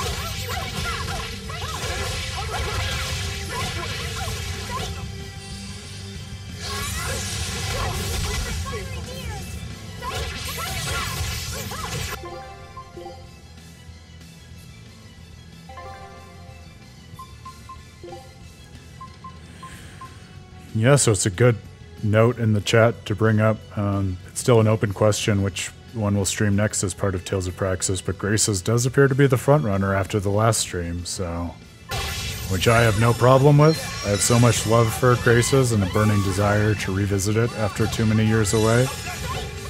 But if there are other ones we want to put in consideration, we uh, have time yet to make that decision, obviously.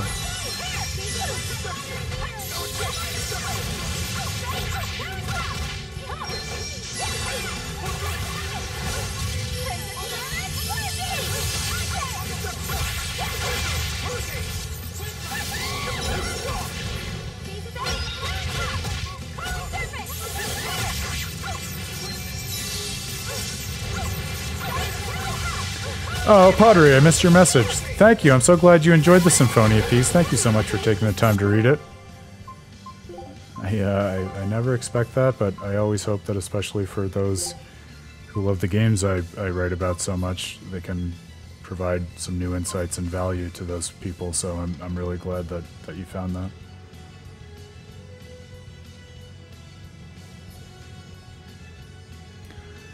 Oh yeah, I'm really glad you like those parts, Pottery. Yeah, it's funny. I um, it was one of those things where I got so much out of thinking about Regal, especially, and his role in the game and everything else.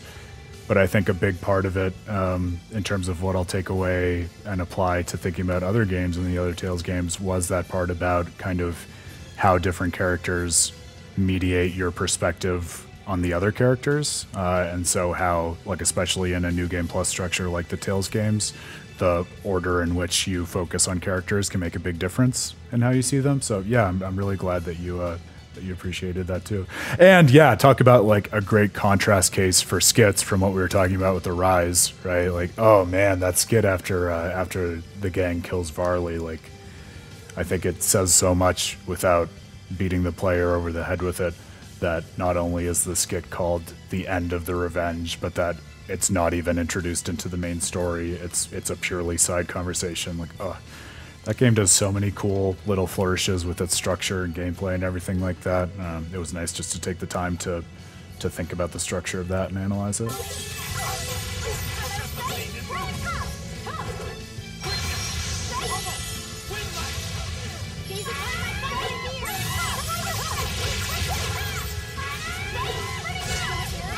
Yeah, all right, gang. So we can think about Xillia and Abyss too. Noted. I'll uh, I'll keep track of that as we go forward. Yeah. Abyss would be a fun one to play as well because if and when we go through that on the stream, I can also kind of walk through sort of the analysis of it that I did through the lens of Kabbalah and Jewish mysticism as we play through the game. So that can also give us sort of a real time book club style, um, different lens to think about a lot of the events. So. But that's the good thing about the Tale series. We can't really go wrong no matter what we choose.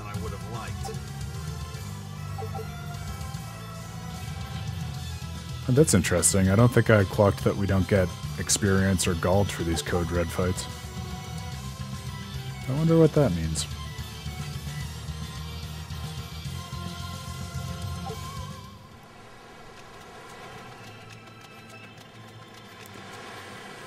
Yeah, and obviously I hope it goes without saying Pottery and Grail and, and uh, others who may have read my most recent work. But, uh, you know, if you have any questions about the stuff that I publish on, or if you want to chat about any of it in further detail, I am always more than happy to chat about um, all of my work. And, you know, the stream is a, is a cool opportunity to have those kinds of chats too.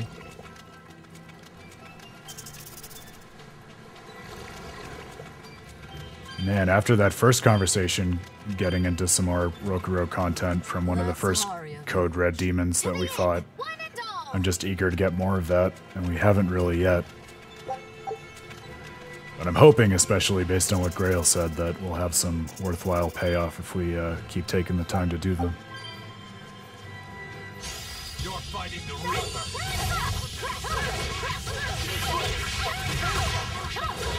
Oh no, Grail, don't say that. You break my heart. I know it's a lot, but my hope is always with that stuff that. You know, I, I try my best at least to make it accessible. Especially because, I mean, I'll be honest, if it helps, that article especially was intimidating to me as well. I think that's why, like I said this at the time when I published it, I think a big part of why I started the Tales of Praxis series was just to force myself to write about Tales of the Abyss because I was so intimidated to take it up for so long. And I am by no means like a religious studies scholar or an expert on Jewish mysticism or anything like that. So I really I took it upon myself to learn and study that stuff and you know talk with some of my friends who are more experts in that subject matter just for that article. So you know, if I can if there's any way I can make it less intimidating, let me know. And if you have any particular, you know, questions or things you want to work through, or maybe that's easier to do on a stream of Tales of the Abyss, um, because working through it really did give me like a very different appreciation for the game, and also just like very truly an idea and appreciation for what it can mean to play a video game and especially a JRPG as a kind of like real spiritual practice, like meditation or something like that. So I think it's um, it's a it's a really cool way to think about why we love these games so much and a lot of the real world value we can get out of them. So I'm uh, I'm always happy to chat about any of that stuff. Yeah, well, you know I relate to the lack of free time struggle. That's an all too real thing. Man, okay, I'm gonna try switching back to Magilou, especially now that we have all of these casters to contend with. Because it is very annoying to have all these spells coming and no agency to fix them. Oh, or Eleanor can just die in the line of duty. That can also happen.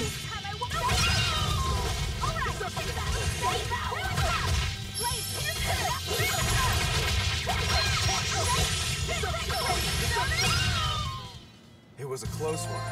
Yeah, pottery. Like I said, your uh, your commentary about the relationship between Abyss and Vesperia definitely stayed with me. So I'm definitely going to keep thinking about it. And I think you know, if and when we get to Vesperia and Abyss on stream, it'll definitely be cool to think about them in that context. Um, I'll say one thing that we didn't chat about on the stream last time when you mentioned it, but as I was thinking more about it, it came to mind because I actually I had this thought when I was playing Vesperia, and then I just forgot about it. Was this idea that um, I think another really cool way in terms of how the themes are unified in the two games is how in both cases you have I think these really cool and mature and I would say fairly realistic pictures of how you know, yeah, you get this JRPG party that comes together and decides to change the world in a certain way, but it's actually really important to them to get consent of all the major like kingdoms and players on the world stage before they do that. Like in Tales of the Abyss, you have that great conference at Daath between the two kingdoms um, and the the Dothic like religious state, and then in Vesperia, you similarly you know bring together all the leading powers in the world uh, so that they can get mind share about what to do with the Blastia uh, at the end of the day as the game is coming to a close, and I think that's a really cool thing that um, definitely gives me the same feelings as a as a player and audience member across those two games.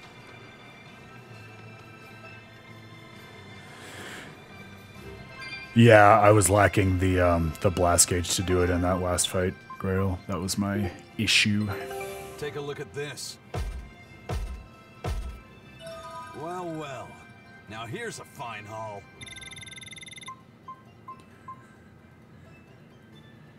Yeah, really cool scene, Grail. And it's funny because in um, in the synopsis, which you'll recall is Luke's diary, he says something like, "Yeah, you know, I'm I'm pretty sure it was a bluff, and Guy was just trying to make a point and you know elicit a conversation about this."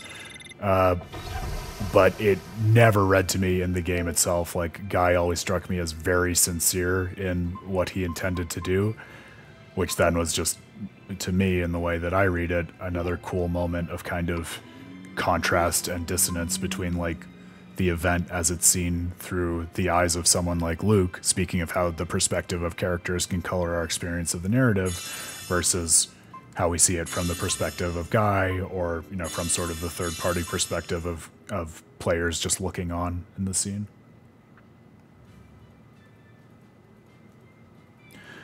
All right, Pottery. Well, you're definitely uh, giving me an itch, or at least an inkling as to why it would be valuable to uh, to play Abyss and Vesperia back to back. I will keep that in mind. I'm sure it'll come back to you now that you've uh, mentioned it. Just shout it out once, uh, what we once it does. Assault, demons are attacking villages, and more people are growing upset with the Abbey. So I hadn't expected things in Haria village to be so laid back. They might be on their best behavior because you're accompanied by an exorcist. That's the wrong your. No, you could see the world ah. just black and white.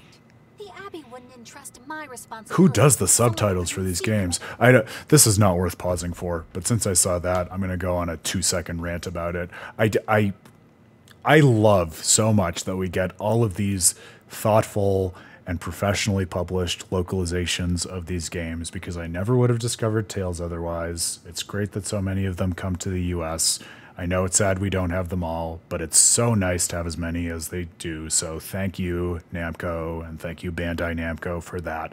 But oh my god, like whom did they pay to do the localization of Tales of Arise? Because I swear to God, every other sentence is like spelling errors or disconnected with the script as it's read by the people who are doing the dub. It's just it's total nonsense in a way that goes beyond like any of the other issues that you get in any of the other games. And when you combine that with how desynced like the lip movements are from the voices, it's like I love that game so much. I there's a reason I front loaded all of my talk about it and the speed through with all the things that I really appreciate for it. But talk about pet peeves that make Aaron lose his mind.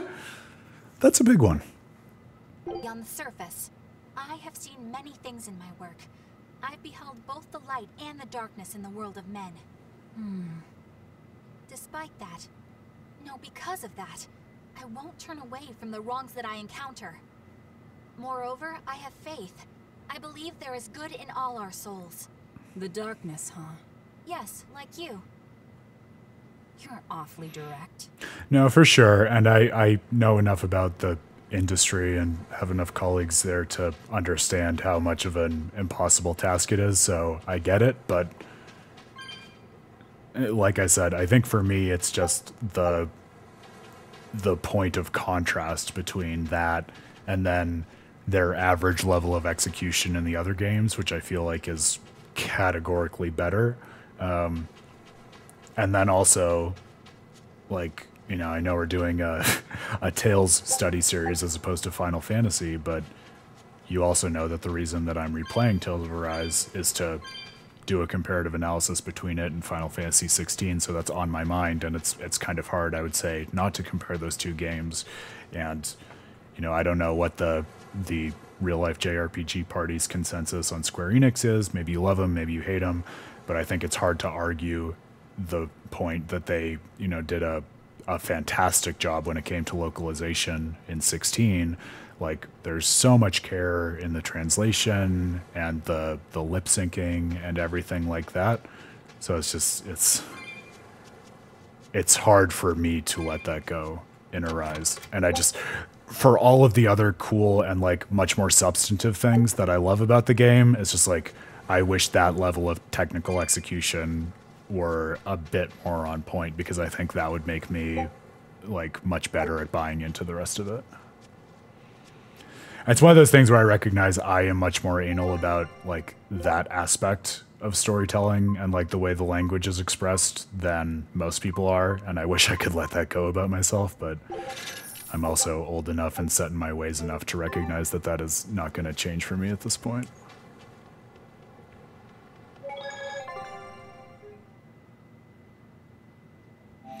Yes, Pink Moon Echo. Thank you for getting us back to the substance of this. I think that was warranted. Um, and I, I, definitely do see Eleanor um, channeling Sorey, and that's. That's a really good point of comparison.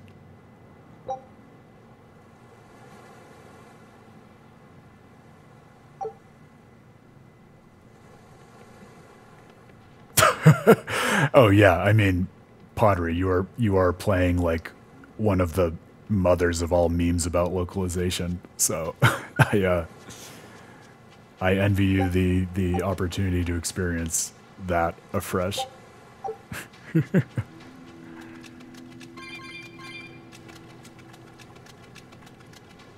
yeah, such greatest hits as Let's Mosey, um, Tifa saying "Don't be I don't, I don't, I don't want to risk saying the R word on the stream, but uh, Tifa saying a word that she uh, definitely did not say in remake, uh, and and will not be saying in rebirth. Yeah, you get a lot of adventures and localization in that game, no doubt about that.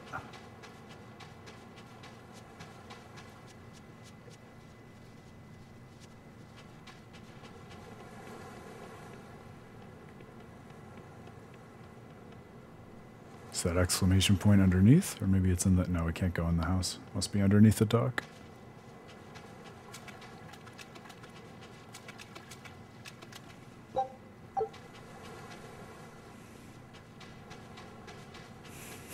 yep, that's a good one too.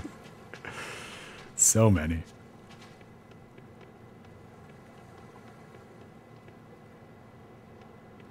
Dilly dally shilly shally.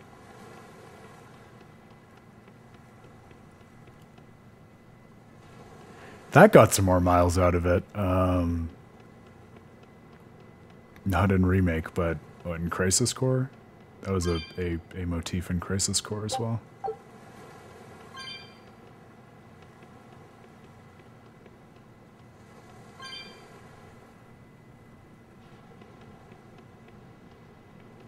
The 90s were a magical time, an ambitious time.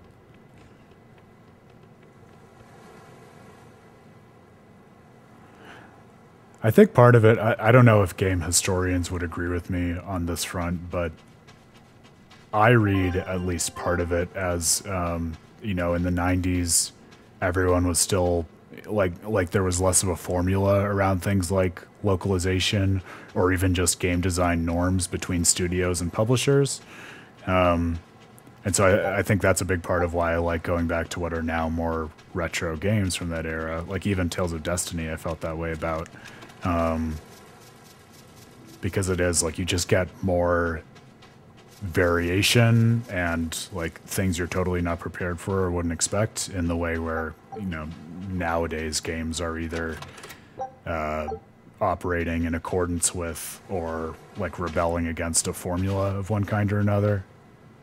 So like I said, I don't know if that's the game historian consensus, but that's what it, it feels like to me as someone who's reading these games.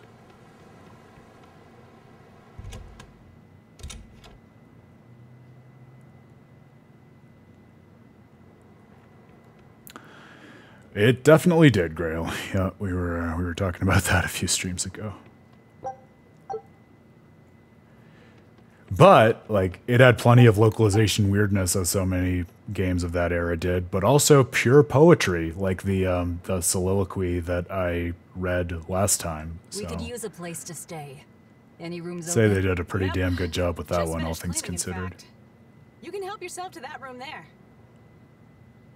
All right, time to start deciphering this scroll.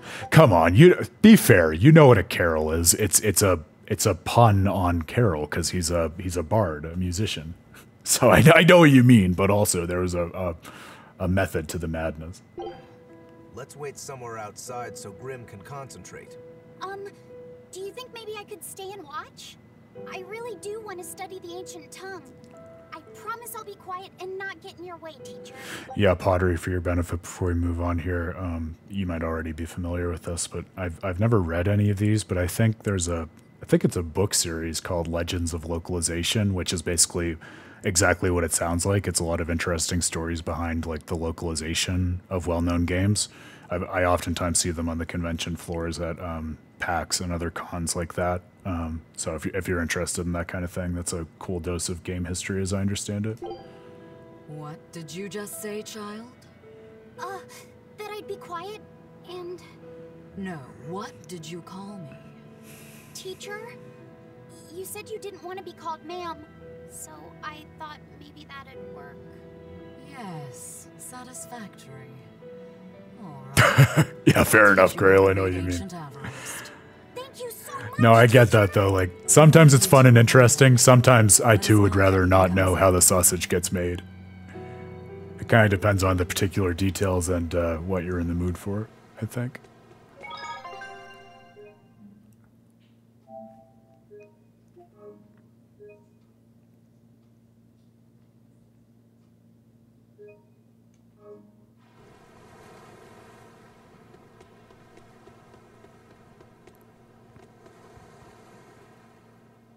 Listen, I don't know what they told you in Yseult, but our village has its own traditions. This village is under the divine protection of the Empyrean Amenoch. For unbroken centuries, a line of his priestesses have guided us. They're tasked with performing the sacred rites of worship. And sometimes, they even deliver us his words and will. And there's still a priestess today? Of course. And her daughter is training to become our next priestess. Although, I sometimes feel they push themselves too hard. Both mother and daughter are giving their all for Haria. But the Abbey doesn't care about any of that. And they stole our temple from us. By force? An exorcist named Teresa came and heard us out. But from the very beginning, she always intended on taking our temple. Her words may have been kind, but that doesn't change the fact that she demanded that we worship her god, Innominat. In all the years we've worshipped Amenoch, not once did we ever try to force others to adopt our beliefs. Why haven't I seen this priestess she's talking about? Oh, that's cool, Grail. What series? While we're here, it occurs to me this is also like an interesting. I don't know if it's too call if it's too strong to call it a motif, but at least something that comes up in multiple games, which wouldn't be on my mind except I just played through this part in Arise. Um, the idea of these little villages that are kind of quietly resisting the flow and order of the world, whether it's somewhere like here that is trying to retain its own traditions and mode of worship, even in the face of the Abbey and a Innominat, or like in Tales of Arise, you also get um, I forget the name of the village, but in the the last of the fifth kingdom, uh, excuse me, the last of the five kingdoms on Dahna, the village of Dahnans who have like escaped and are in hiding from their Renan subjugators. And it's interesting to me to um, like think about the role that plays in this kind of Tales game because oftentimes, like here and also in Arise, you don't discover them until like a fairly well developed point in the story where the party has already banded together and resolved to try to change the world in one way or another. And so then it raises an interesting question to ask okay, if you think about different modes of resistance or living outside of the existing world order, like what is the difference between what it is that the party is trying to do and what it is that the people who have kind of turtled in this town away from their oppressors are doing? And given that difference what is it that the party learns by going into this town and you know experiencing their perspective on life and the world? I think that's a cool thing to think about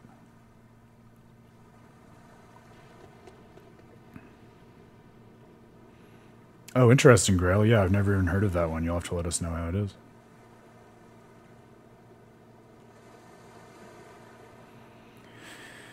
Yeah, um, I'll be interested in chatting about Vholran probably next week, Grail, because I'm I'm almost certain I'll plow through the rest of Arise over the weekend because I have to to stay on track for this lecture.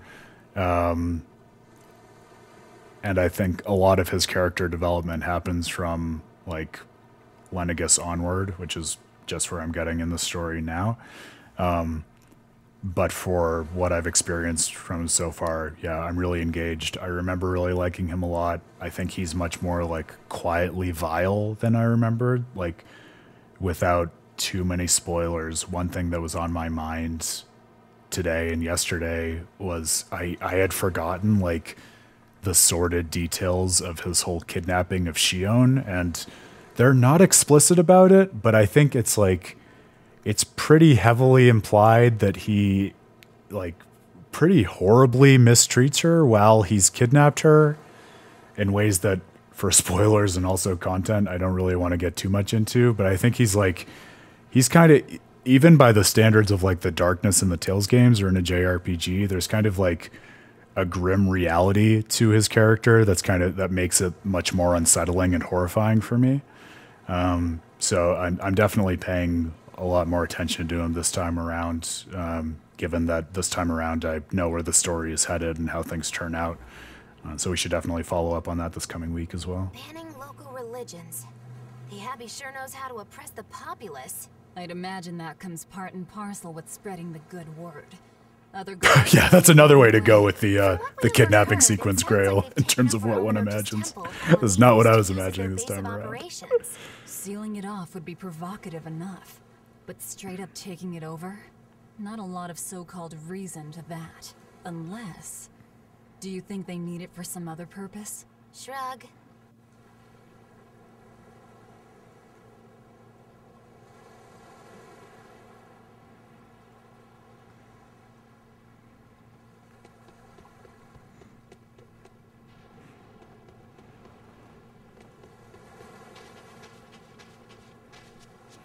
Yeah, I think that's a really interesting and challenging thing, Padre, when like a particular character evokes a lot of different ideas for you, and you're not sure how to square those with the role that they play in the in the story ultimately. Um, maybe we'll have occasion to dig into that in, in Berseria, or if not, maybe it's even a reason to think about streaming Arise next or at some point. I think that's a really good case of where the rubber meets the road in terms of um, how character analysis can inform our understanding of like the overall arc of a long story like a JRPG. So she digs being called teacher. Well played, Laphicet. She wasn't so fond of ma'am, so I guess he figured he needed an alternative. You can tell how badly he wanted to help her with the languagey work. I think our Malak boy's finally finding himself. So it would seem.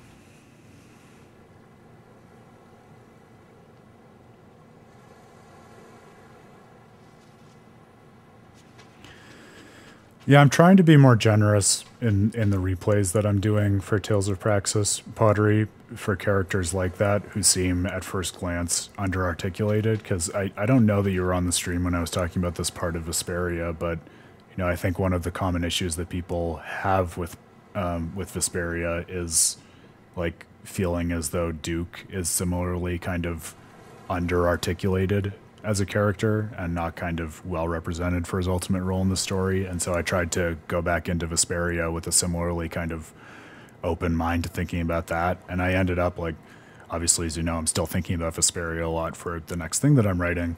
Um, but I ended up having a lot more appreciation for him than I did the first time around. And so I'm kind of, I, I, get where you're coming from with Vholran. Um, and I think oftentimes when other characters are explored in such depth in a JRPG, like the contrast alone between the deep character studies of some characters and the somewhat more superficial ones of others can make it seem like some characters aren't given their due.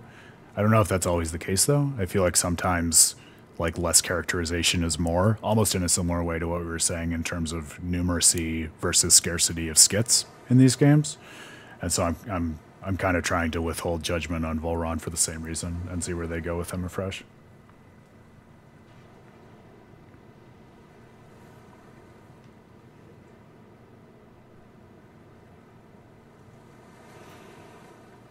Yeah, this is so interesting. I don't I don't really have the same sort of feeling of rushedness at the end of a, a typical Tales game like um like you guys seem to be expressing. I wonder where that comes from.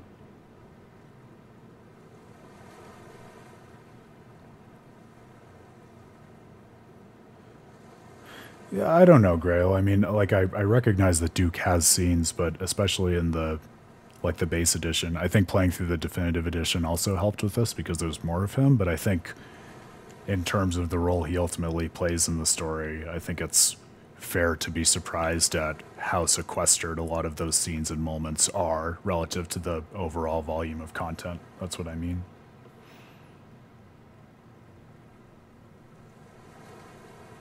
Yeah, I'm excited to dig into that stuff too, Pottery. Oh man, you're getting me geared up about Vesperia. You guys are getting me geared up about all these other games.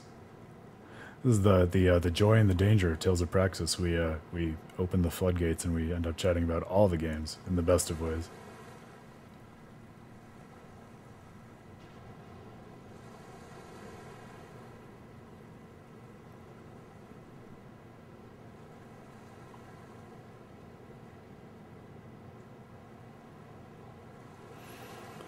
I think there's more pottery, isn't there? Um, well, maybe we'll have to talk about it at a different point because I hadn't played the base game that recently, and so I feel like there were some things where maybe I wasn't sure whether they were added or I had forgotten them. But I feel like a lot of the um, I had it in my head that some of the sequences pertaining to the the town from the past whose name I'm forgetting now in the desert. I feel like some of those were not in the base game, but that might be my memory playing tricks on me as well. What connection do you think there is between the violent demon Teresa mentioned and this village? Couldn't tell you. Could there have been a demon blight breakout here? This village doesn't look like it's been attacked, but... Whatever it is. If it keeps the Abbey's eyes off us for once, that's good enough for me. You really will use anything and everything toward your own aims, won't you? Yep, and that includes you. As I'm sure you've noticed. That's my whole thing right now.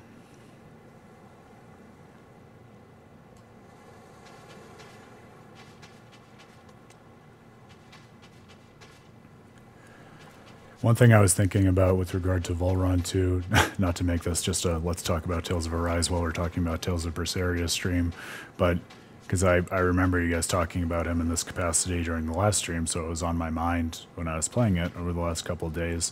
Um, and I think he's one of those characters, like similar to what you were saying, Pottery, about Repede in Vesperia, where a decent amount of the content that does characterize him is not in places where you would typically think, like mainline cutscenes. Like I noticed, even in the first uh, like sequence of battles with him in the um, the water realm on Dahna, like there's a lot of just his dialogue in battle that I think goes a long way towards characterizing him in, in pretty interesting ways in terms of why he's doing what he's doing.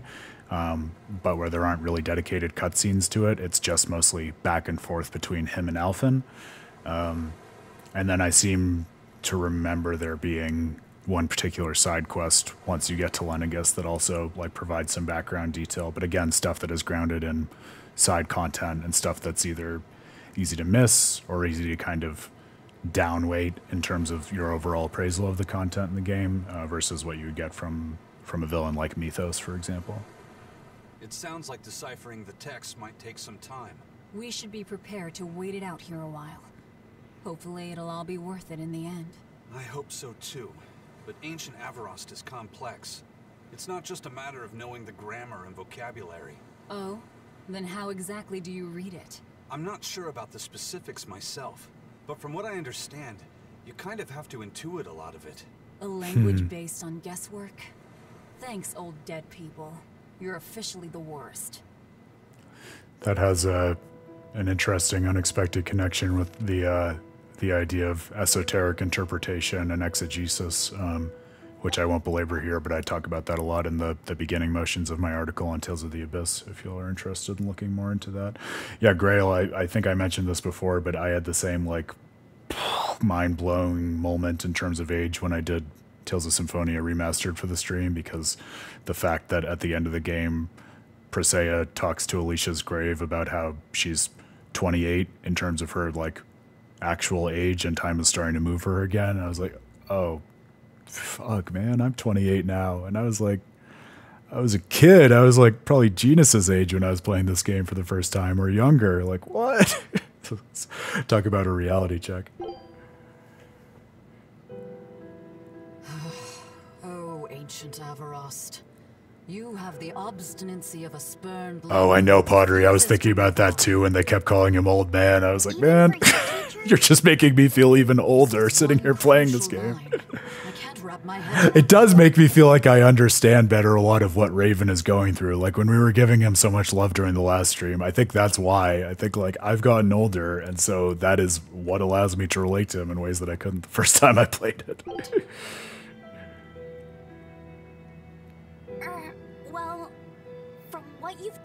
So far, it looks like it says Saw, Popo, Mucho, Sancho. Just make sure you get regular cardiologist checkups so that you don't go the way of Raven in terms of your heart. The parent hates tomatoes, the child eggplants. I doubt those have much to do with Innominat. yeah. Their grammar is nothing like ours. Sometimes you have to reorder the words, and even then the meaning can require leaps of logic and flashes of intuition. Reordering. So, like, San San, Pocho Pocho, Pocho Musan. That's true, Padre. Can you read it that way?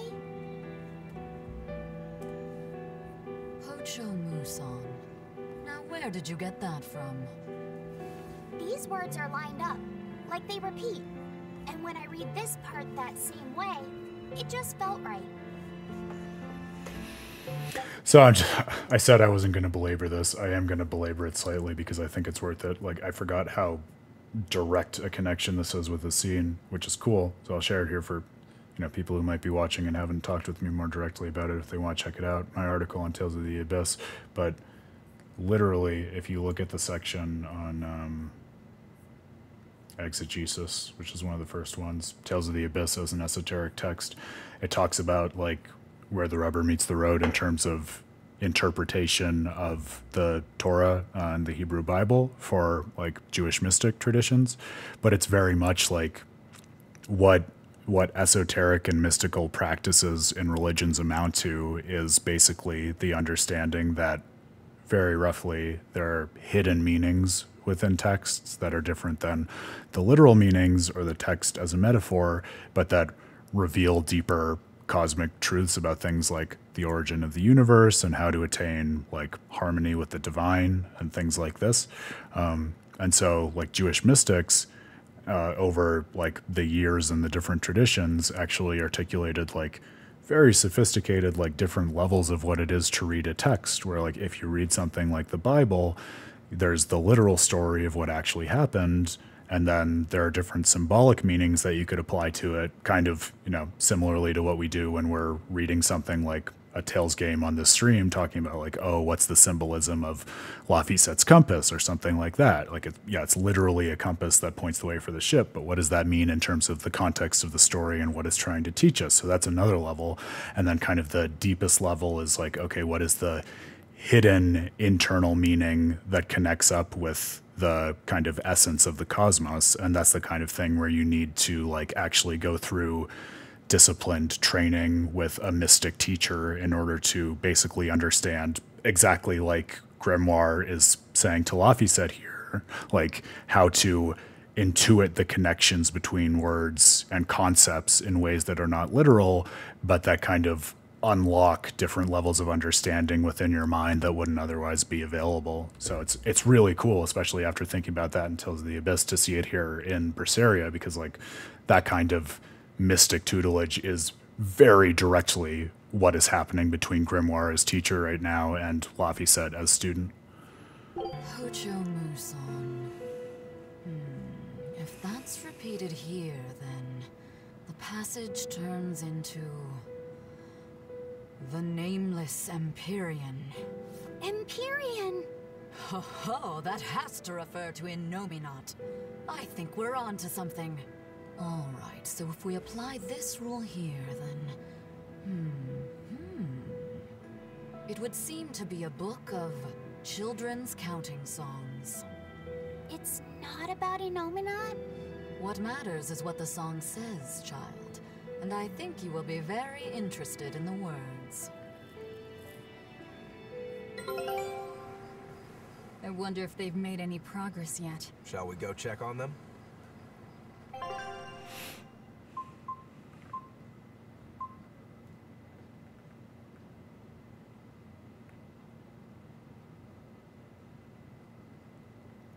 Yeah, pottery. I think that's a really touching and interesting reading of Raven. Um, that was one of those things where I uh, like I did wish the game went a little bit more into like the relationship of how they knew each other during the war. Um, but I think it is interesting to think about like Raven clearly has the through line in his character of thinking about what it is to have kind of lived too long and understand like how to carry on for the other people he knew who aren't there anymore, especially when he kind of always feels as though he's living on borrowed time under these somewhat artificial circumstances. And I think even though like his final confrontation conversation with Duke doesn't really echo this as much, I think there is a sense in which, especially as divorced as Duke seems to have become from humanity, Raven is kind of someone with unique standing to try to call Duke back to that. So the question of why doesn't he make more of an effort to, I think, is an interesting one to try to unpack. Take a look at this. Eye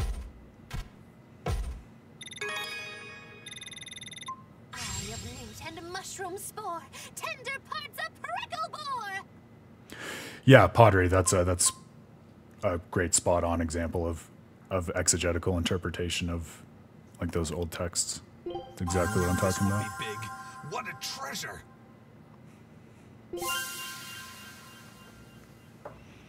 Oh, that's interesting, Grail. I uh, I might have to go hunting for that manga. That sounds like the kind of thing I'd really enjoy reading. All right. Do you plan on just giving up? Palamedes is Amenoch's temple.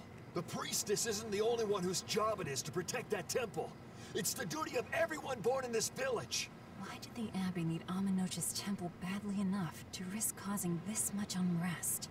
But how will we protect our village from the demons if the Abbey abandons us? Besides, we won't be able to do business with the people of Yseult anymore. Our faith in Amenoch. Yeah, Grail, if that's easy for you, I'd absolutely love that. I'd love to check it out, especially while I'm thinking about Vesperia. Thank the you. Demon Blight changed everything.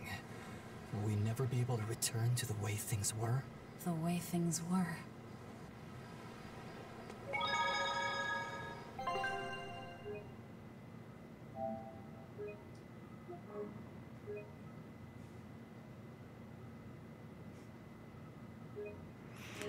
All right, let's see what Waffy and Grim have learned.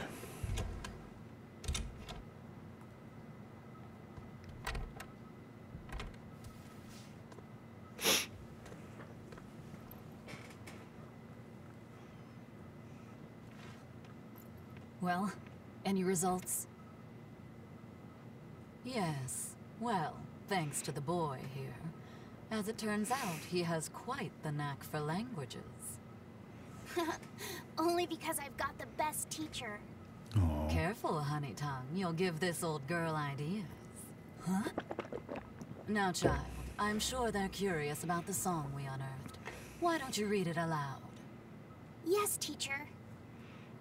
Song is, and I'm going to stop harping on it, but it's it's just interesting because like one of the things that got me to start thinking about Tales of the Abyss and exegetical practice within mystic traditions also is like not only are there a lot of you know explicit references to Kabbalah in terms of stuff like the Sephiroth and the names of the towns after particular Sephiroth in the game, but also music is such a big part of Tales of the Abyss's universe, and song and like musical cadence is also a big part of like Hebrew and the tradition of like actually reading the Torah and also like interpreting the Torah in certain exegetical practices. So the fact that this is a song is just icing on the cake. Eight-headed is the lord of the land, with seven mouths to devour malevolence. Through pulses of earth doth base nature's flow, as he awaits the time of awakening. Four Empyreans may tear him asunder, but so long as there is one receptive to divine power, Therians shall be forever reborn, in sight of the full crimson moon. The nameless Empyrean hath one heart, the nameless Empyrean hath one body. Because it's a song, Grail. Therians? Essentially, this ancient text you found is an annotated volume of drawings and songs pertaining to Innominat. Yeah, and they talk. I mean, talking about an eight-headed dragon, right? That's um, I forget if that's exactly how they refer to it or them, or if it's singular or multiple. But in Zestiria, they also call out like eight monstrous dragons of old or something like that. So there's definitely continuity there as well. Annotated? Then hurry up and just tell us what it means. I'm sorry. So far, we've only figured out how to read the song lyrics. All right. I take it we're still in for a good long wait before it's thoroughly decrypted. Likely so, but if we want to find out what the Abbey is up to, we need to know what's in this book, no matter how long it takes. Hmm. What the Abbey's up to, is it? I think we can learn much, even from the lyrics alone. The drawings depict him with eight heads. One of them belongs to his main body, but the other seven are his mouths. Those mouths consume malevolence, sending it along Earth pulses back to that main body so he can awaken. The seven monsters fitting that description are called Therians. Right. Now as for this malevolence, I have no idea what that means. Hmm. What about the second part? I haven't studied much ancient history, but it said this world was created by four Empyreans Earth, Water, Wind, and Fire. But they also call Innominat an Empyrean. Perhaps a war broke out between Innominat and the other Empyreans that resulted in him being sealed away. But if there is someone to connect with this divine power, the Therians will keep spawning. And just like that, Innominat will be revived. If we assume that Shepard Artorias fits that bill, and that he's trying to reawaken Innominat, everything lines up. Which means our job is to find these Therians and cut off Innominat's heads, so to speak. But where do we even start looking for them? Remember, the song states that the Therians and Innominat's body are connected through Earth pulses. If their job is to feed Innominat, the most effective place to position them would be at the Earth pulse points. Points? The places where the power of Earth pulses is concentrated. Like Sephiroth. Places with that sigil. Hey, remember the barrier that was keeping this bug in the forest? Wait, are you trying to say that thing's a Therian? And yet, it would explain why the Abbey was keeping it locked up. And there was that same barrier at the villa, too. That's right. Do you suppose that was also a Therian? Does that mean the Therians all come in different forms? Should we go to Loegres and check? We've just started deciphering the book. I'd hate to lose time on some fool's errand. I'd rather know at least a little more about what's in it before we make a move. we did it, Grail. We solved it. Everything is just everything else. Something bothering you, Grim? This line. The one about Therians being forever reborn.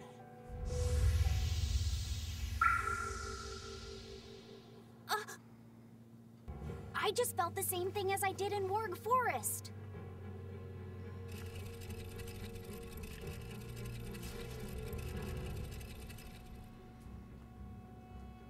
The needle's pointing in the direction of Amenoch's temple, Palamedes. Do I recall hearing that the Abbey took that over? Temples and ritual sites are often built on places thought to be rich in spiritual energy. You could probably get more terrible if you really tried Grail. I'm sure if we want to get even memeier with it, it would be easy. all over the world. If there's only seven Therians, most of them will be empty. It's not like we have any better leads. If there's even a chance, shouldn't we go check it out? Better than sitting around waiting on the book. If nothing else, we'll find out what Laphicet is sensing. Hmm. Just a theory, but if you were to kill a Therian... What? Hmm. I guess there's only one way to find out. Never mind. Good luck out there. Probably just the wind. I'm sure it won't come up again. Yes, I mean, we're joking about Tales of the Abyss, but I think it's interesting too because the more I've been playing the other games since I played Tales of the Abyss and wrote that study of it, the more I've been noticing that sort of like the the esoteric interpretation of lore as a motif in the other games. Like we get it really strongly here, but especially since we're already losing our minds over Vesperia on the stream, um, I have to imagine that whole like storytelling sequence and, song talking about the origins and invocation, of Innominat that should call to mind also the very similarly like structured and represented um, like discovery of the lore behind the Adephagos and the like the deep history of Terca Lumireis in Tales of Vesperia uh, and the whole concept of the Krityan race as this similarly kind of you know like keeper of the esoteric true origins of the world where you know even their city of Myorzo can't be discovered unless you you know ring a bell and have the right heritage.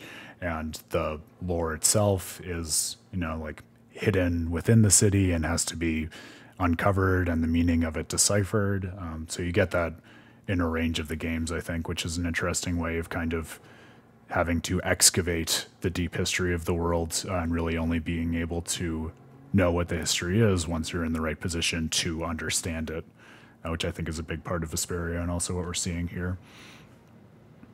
Interesting too with that history. One thing that's worth calling out, just as we keep track of this world and how it relates to Zestiria, and we spent a lot of time talking on the stream in terms of how we don't have in this prequel a lot of the language and conceptual infrastructure that exists in Zestiria in terms of things like malevolence and the power of purification and the Lord of Calamity and stuff like that. Um, so it's easy to go into a prequel like this and see that and suppose, oh, well, that's something that's going to be innovated later in the world in the history of this cycle of shepherd and malevolence and everything as people come to better understand and define it. But now we understand, oh, actually, no, that like universe of concepts has existed within the world forever. It just got lost to history, even more ancient than what we're seeing in Berseria and now it's starting to get excavated again and reintroduced in the vernacular. So that's interesting to discover at this second act point in the narrative and actively ask ourselves as we go on like how does that different understanding of this story's relationship with the broader world context inform how we're thinking about these characters and their journey uh, and how this all informs tales of Zestiria after that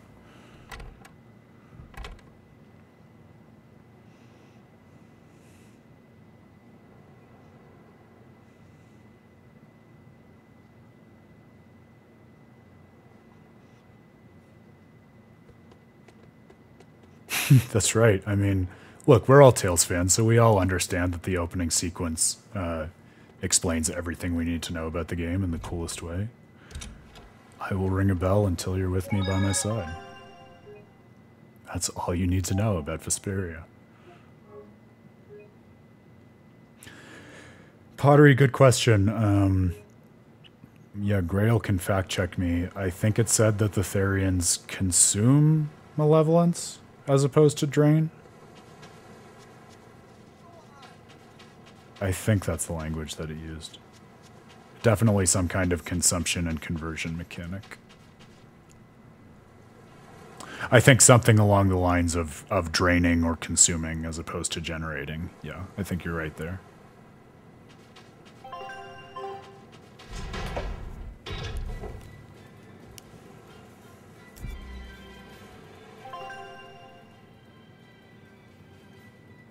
To the Palamedes.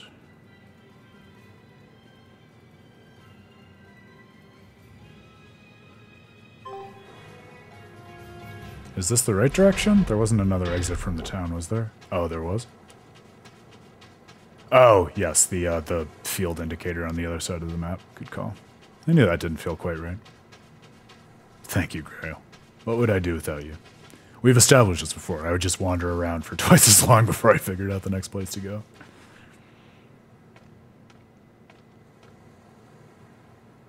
Who are you? The innkeeper's daughter. I just... I happened to overhear you all talking about going to Palamedes, and... Did you report us to the Abbey? Am I gonna have to fucking kill a bitch? Report? But you already have an exorcist with you.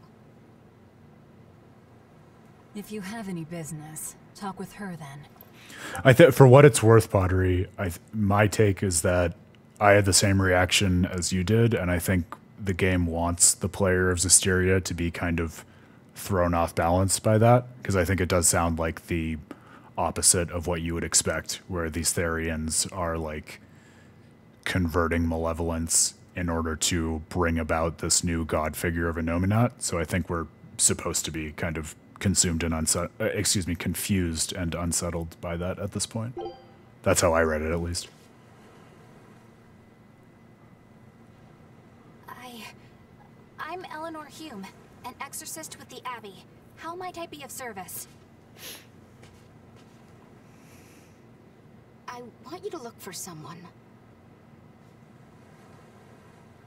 A mother and her child went to visit the Abbey grounds, but they haven't returned. They've both gone missing? Yes. The mother's name is Mahina. She's a priestess of Amenoch. And her little daughter's name is Kamoana. Hold on. If she's a priestess of Amenoch... Right. Ever since the Abbey booted her out from the temple, she's been regularly going back to make her objections heard. But one day, she never returned home. And now her daughter has disappeared too. I can only assume that she went to go look for her mother. And you believe they're being held at the temple? Oh no, ma'am. I just... I, just can't imagine Mahina would abandon her daughter like that. Kamoana is next in line to succeed her, so she's had a strict upbringing, but her mother truly loves her. Please forgive Mahina for her protests. I was just hoping you could use the Abbey's resources to track them down. I will do everything in my power to find them. Thank you. Thank you so much. Like Kamoana, I grew up with only my mother as family. I can't help but worry for them. Of course. Let's be off, Miss Exorcist.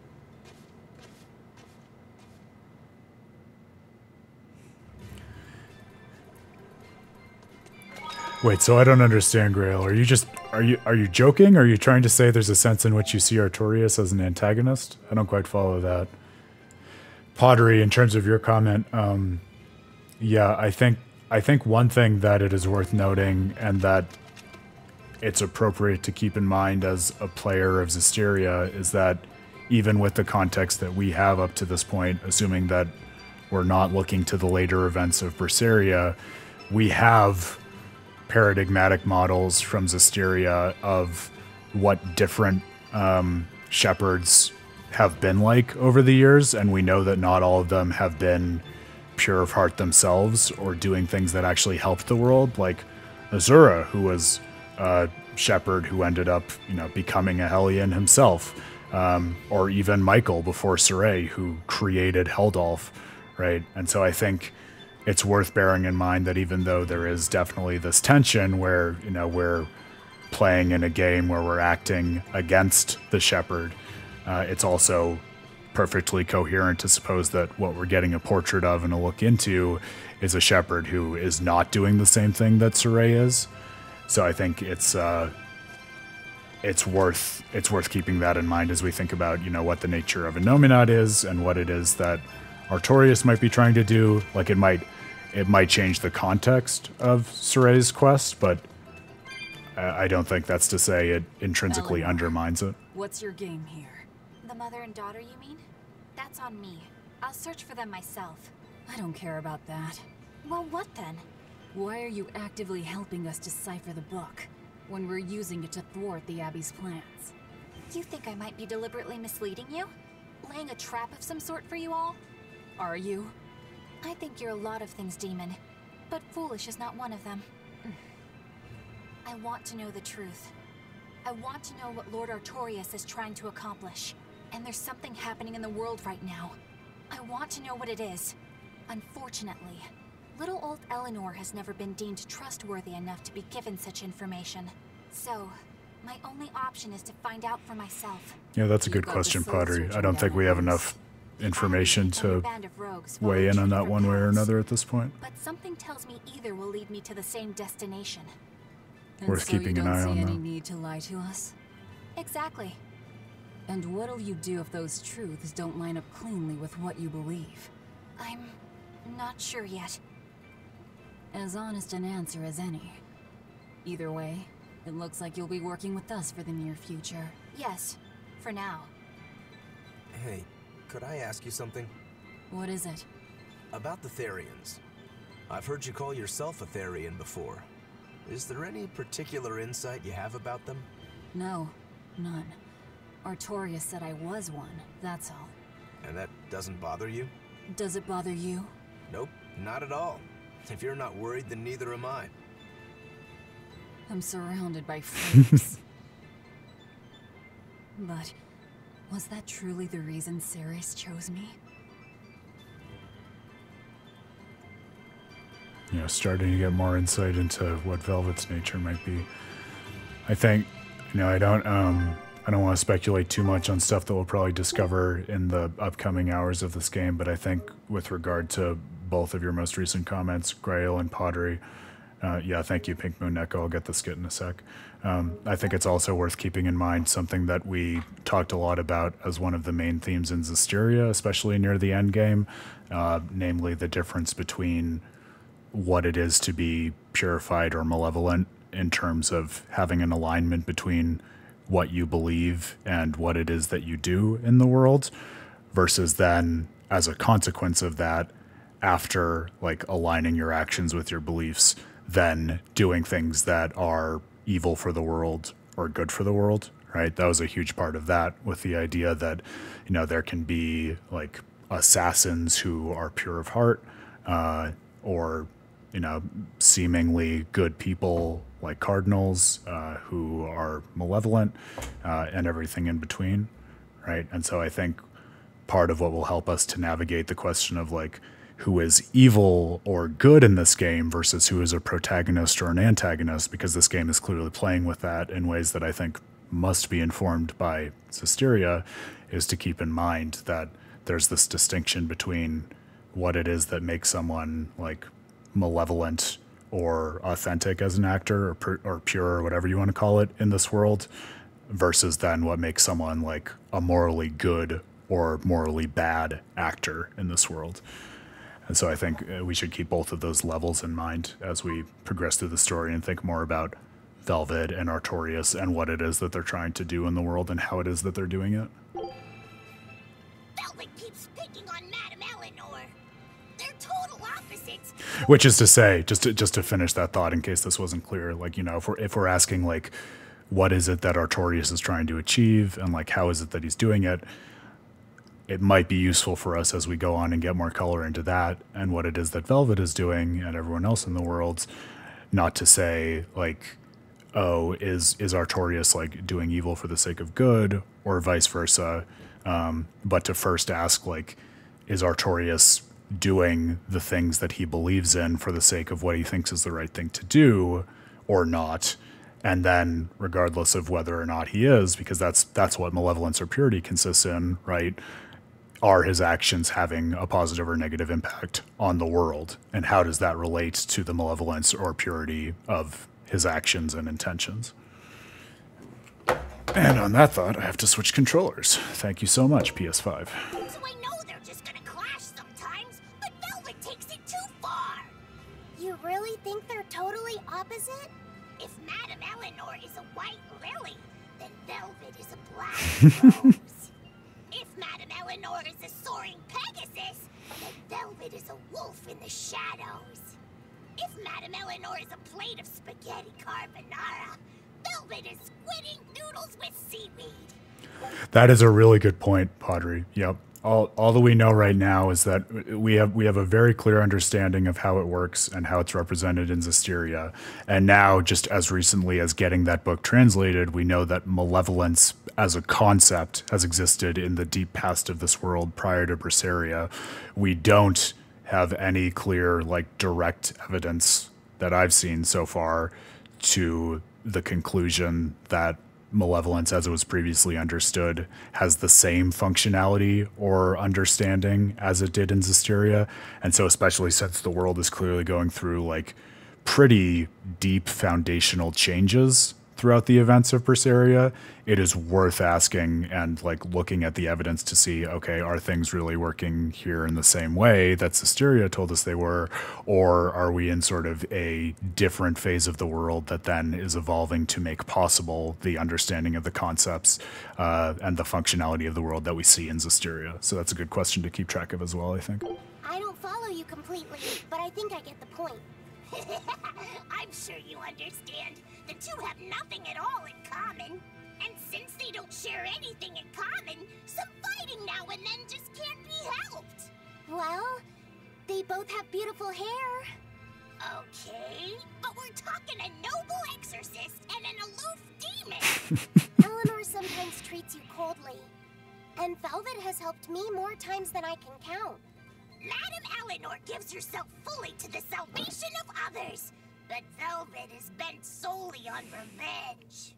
That means they're both motivated by thoughts of others.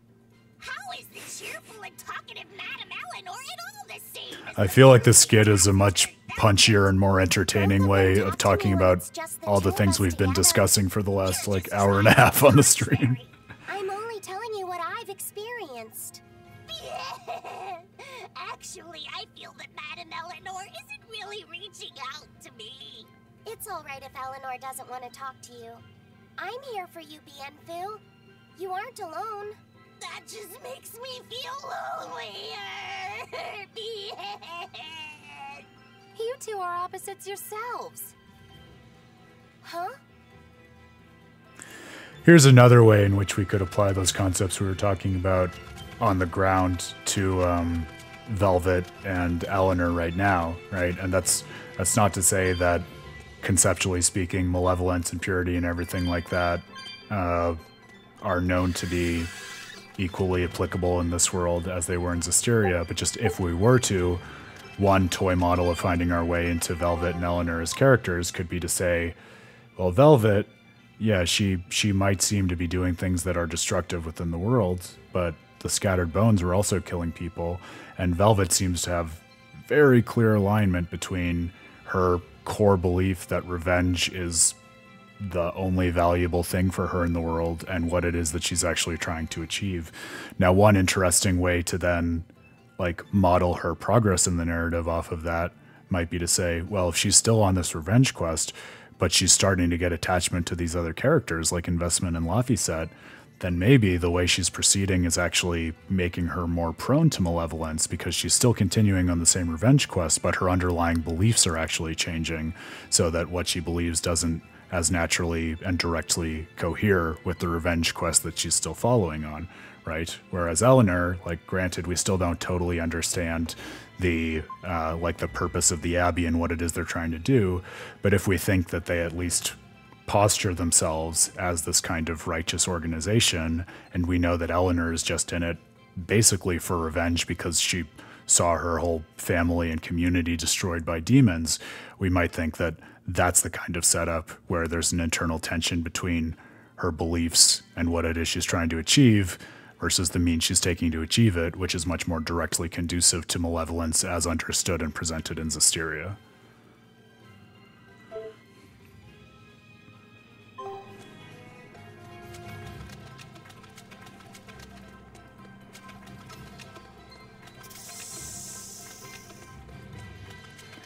Yeah, I'm with you on the first half of that message, Grail. I haven't seen the second half yet, but um, I think this this is kind of the fun part of the second act, and this is why I'm glad we've spent so much time thinking about second acts explicitly, because I think this is where the game starts to get really interesting. Where if you are actively reading it and thinking about, well, how are its characters and dialogue, not only with its themes, but also with the themes of the game that preceded it, we start to get a lot of these interesting points of comparison and contrast that make us want to probe deeper and kind of trip us up in our conceptual analysis because things are getting more complicated in the world and we're also getting more of those points of connection between it and the previous game.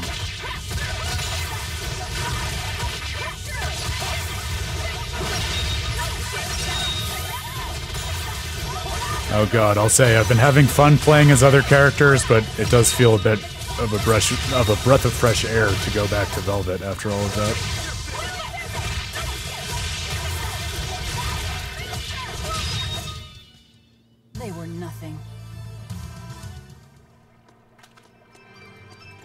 They sure were.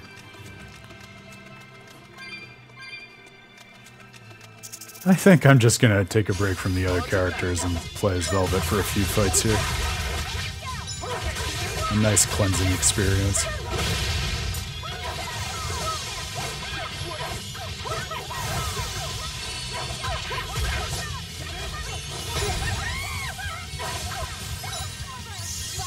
Yeah, definitely interesting in that dimension, Pottery.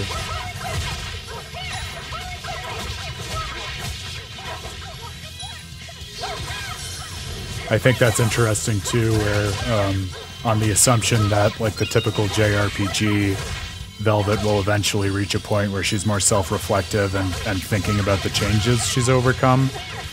It will be interesting to keep your comment in mind in terms of how much like how much her beliefs and guiding intentions changed without her even realizing it before she reached that point of reflecting on it. Because I do think that's something that speaks a lot to her character and her particular journey in this context of the prequel to Zestiria in a way that you don't get in uh, in your average JRPG because it's not the kind of story it's often trying to tell. Take a look at this.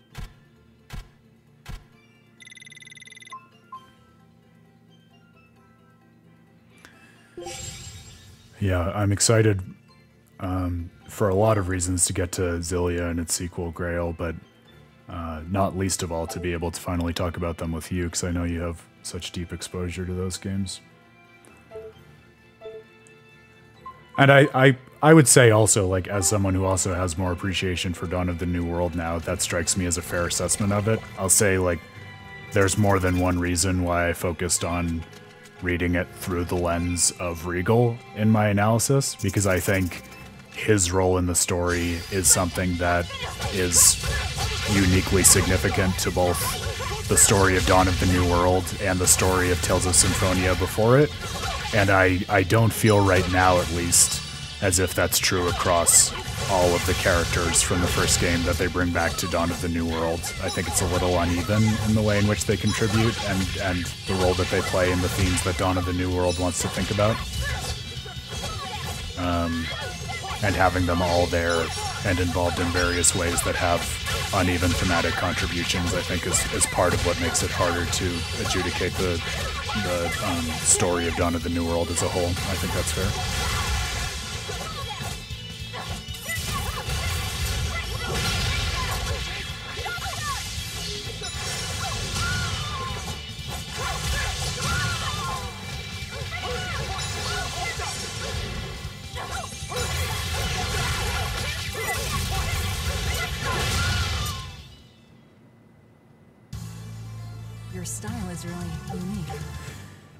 Yeah, pottery. That's a good question too. I'll say that's something that I um, I noticed more than I expected in Tales of Arise going back into it because it's something where there are like a significant number of costume changes across the various arcs uh, and the kind of main three acts of the game, especially for Alphen and Shionne, um, in a way that, as you say, makes a lot of sense based on the like the role that outfits play in the language of Tales storytelling. Um, but you're right. I feel like even though they're outfits and so you don't often think of them as quest lines, I think you could almost draw the distinction that one draws between main quests and side quests in a game, where, yeah, they oftentimes all contribute to character development and saying different things about the characters, but it's typically the kind of development that you would get in optional content because a lot of the quests to get those outfits are exactly optional content.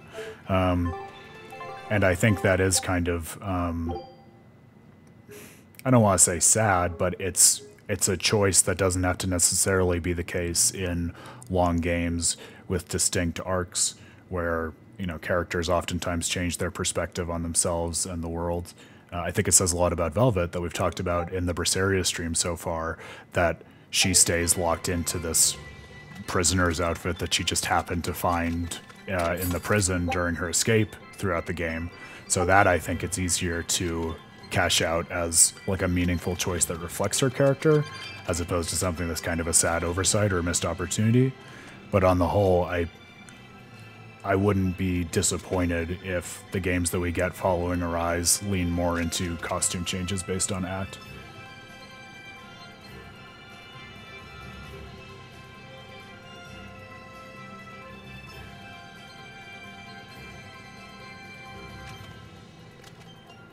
Oh, Grail, for real? Should I not fight this? Well, come on, you say that, and I'm gonna definitely fight it at least once. I'll just, I'll double tap for safety on the quick save if there's any way to get me to fight something, that's it. yeah, and Padre for your breaking for your benefit because it sounds like you might not have been here when I talked about it the first time. I think you know take everything that we just said about like Velvet hanging on to revenge and sort of fixating on that as her not only guiding reason for existence but also like the one maxim according to which she governs herself throughout the game and her life. I think it's really easy to take that and transpose it onto like her outfit as a symbol, where she just she stays in that outfit because kind of she's still she, in a way she's still in the prison where she starts the game, the prison of her revenge quest, and she um, you know she kind of lets all other aspect of herself, her character, her fashion um, go uh, in favor of that revenge quest. Try it once. All right. Well, that didn't wasn't a great start.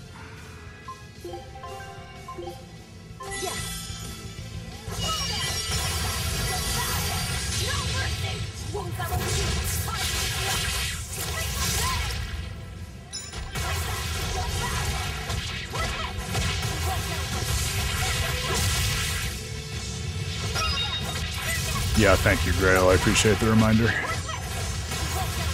I need all the help I can get. Although playing as Velvet, I feel like we have a chance.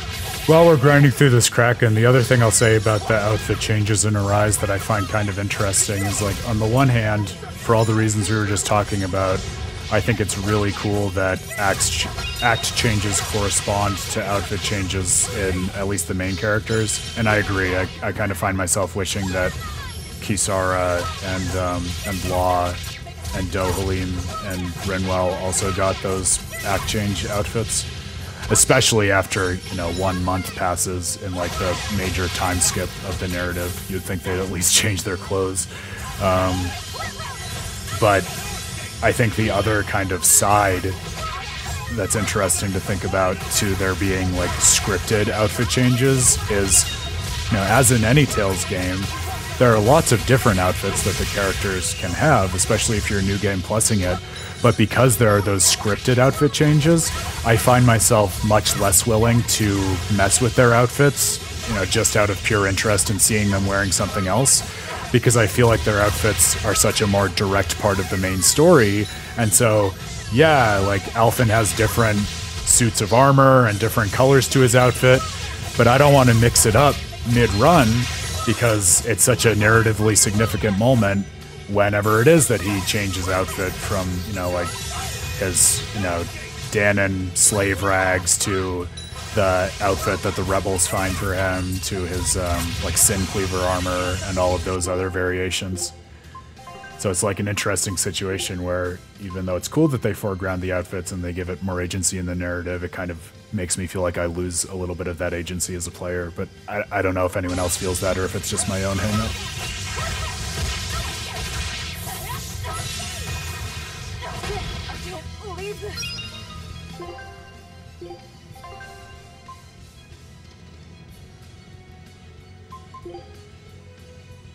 I'm not playing on easy mode, Grail. I'm playing on normal. I will thank you to remember that. It might be your easy mode, but I don't want people thinking that I'm playing with literally no level of challenge. thank you very much. It's just a different level of challenge.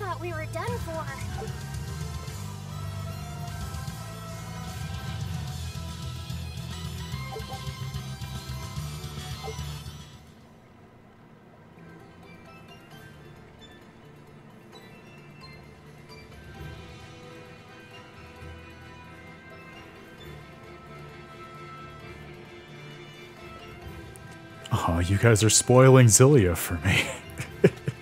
if I didn't have so much love for you, I'd be miffed.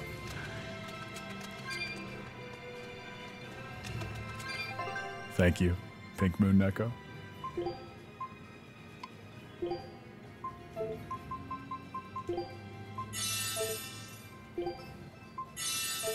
Is that everyone? Yeah, I think that's good.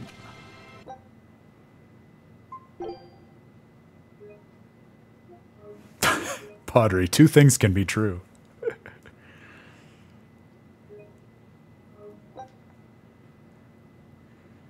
Grail, bearing in mind your challenge run though that's like you complaining man you know I, did a three mile run with like 200 pounds of weights and a crown of thorns and dehydrated and like throwing up the whole time because i ate a giant meal of pasta right before like michael scott. And this guy just got up in a tracksuit and ran three miles like it was nothing. There was no challenge dude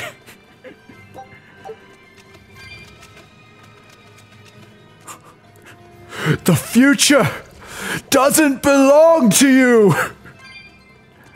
And since we're rounding the uh, three hour mark, maybe that'll be the only Xenoblade Chronicles illusion we get in the whole stream. Hey, look at that. We got exactly one. Keeps going. Just don't step on any sea slugs, okay? Why not? What's the big deal? It's just that it isn't pretty. Their insides squish everywhere. Yikes.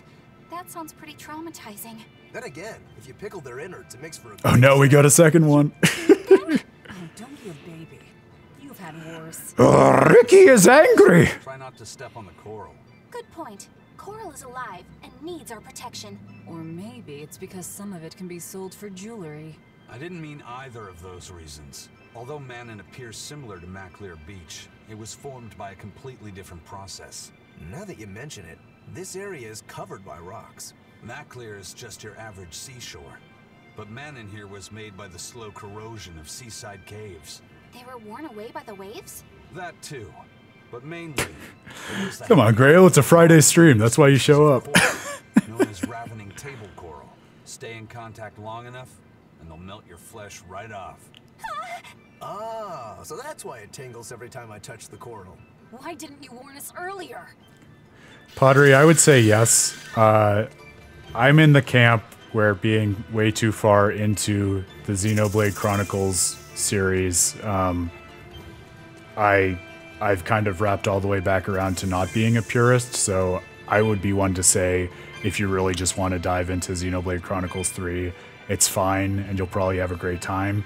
It is definitely the kind of game that deeply rewards players who have very recently played Xenoblade Chronicles 1 and 2 because they're both at play in really um, interesting and robust and like narratively fascinating ways.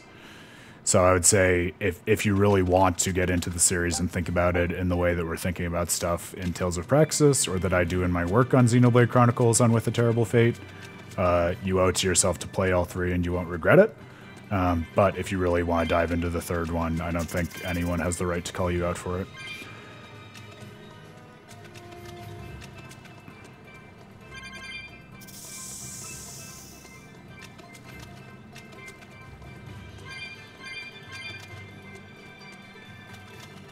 Laffy said, have you been taking care of that rhino Stagros like a good boy?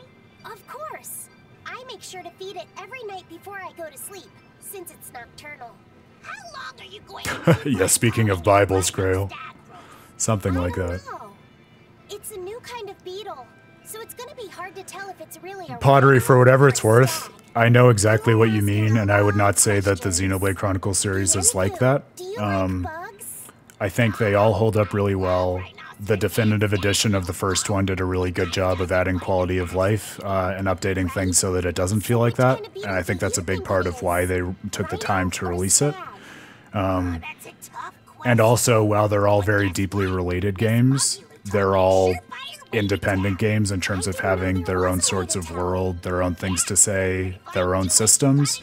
And so it doesn't feel like each one is just an improvement on the last one. It feels like they're very different games that are worth experiencing on their own terms. So I definitely, I, I don't feel like it's a downgrade to go back to the first one after the third one.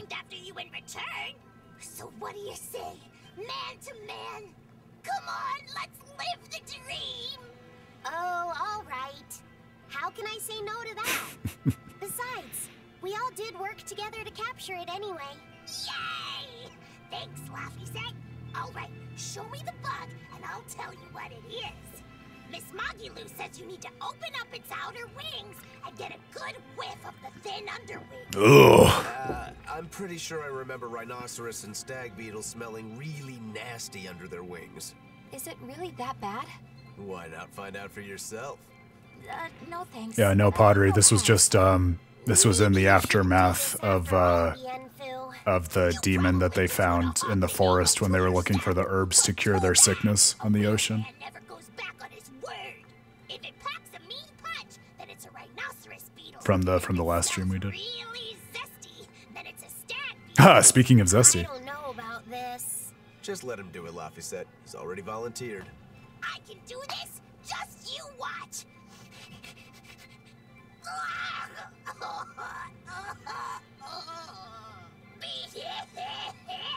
this smell is the most bad, bad thing that ever bad, it. Whoa! He fainted with his eyes still open. Well, well, well. If it isn't the consequences of his own actions.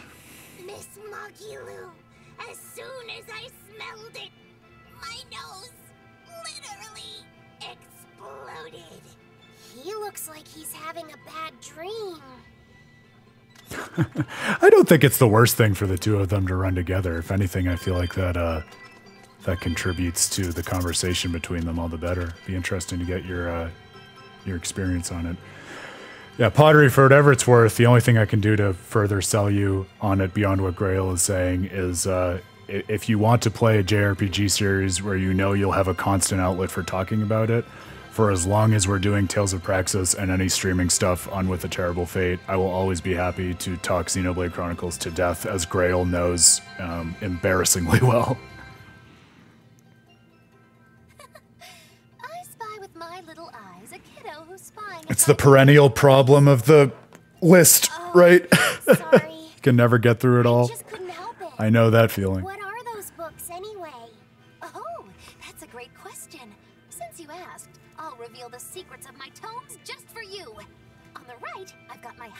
ledger in the back and my magic encyclopedia in the front. Oil blotting paper. What's oil blotting paper? It's a girl thing. The two on the left are my Oh, yeah, Shulk. Get stuck in. A super pop-up book?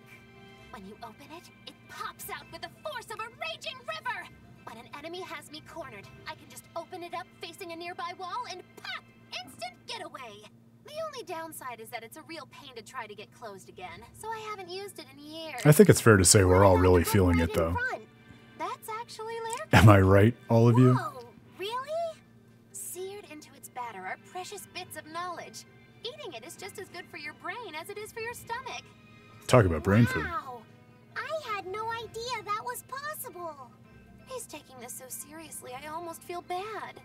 All of your books are so interesting, Magilou. That's really cool.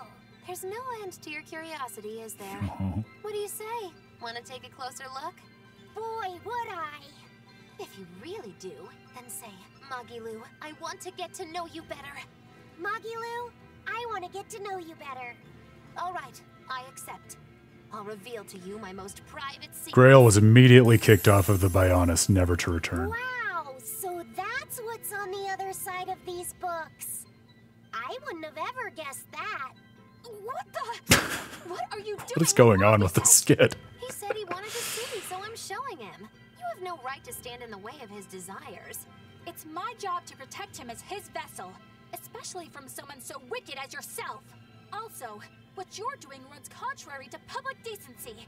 Witches aren't supposed to be decent. These bindings with the locks on them.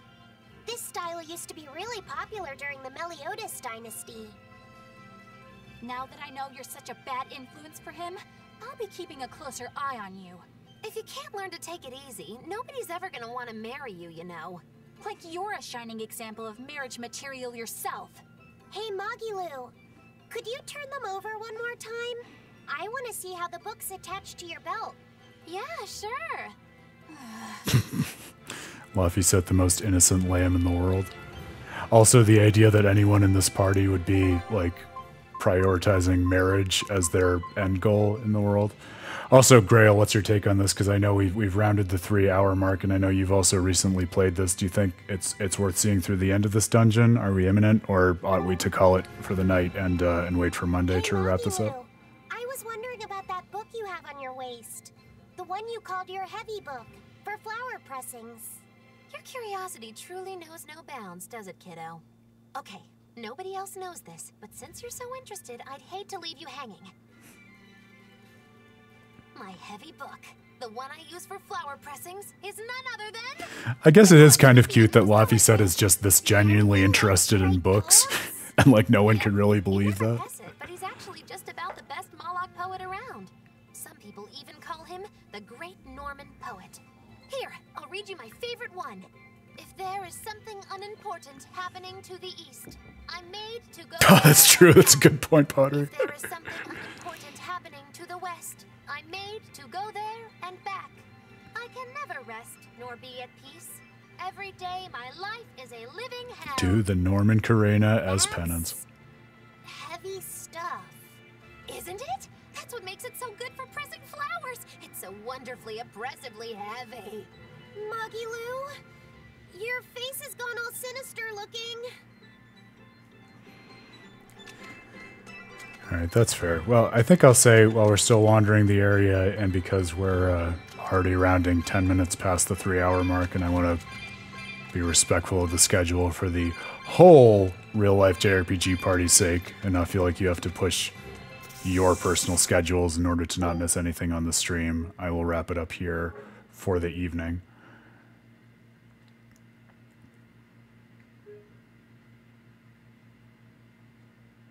Locked home. Man, I, I can always count on you good good friends in the stream to uh, give me ever new um, series titles. That's one that I have never ever heard of, but I'll have to add it to the list coming from you, Pottery. Well, if it's one that you recommend, at least I guess that's that's not um, tantamount to a recommendation. What you just said.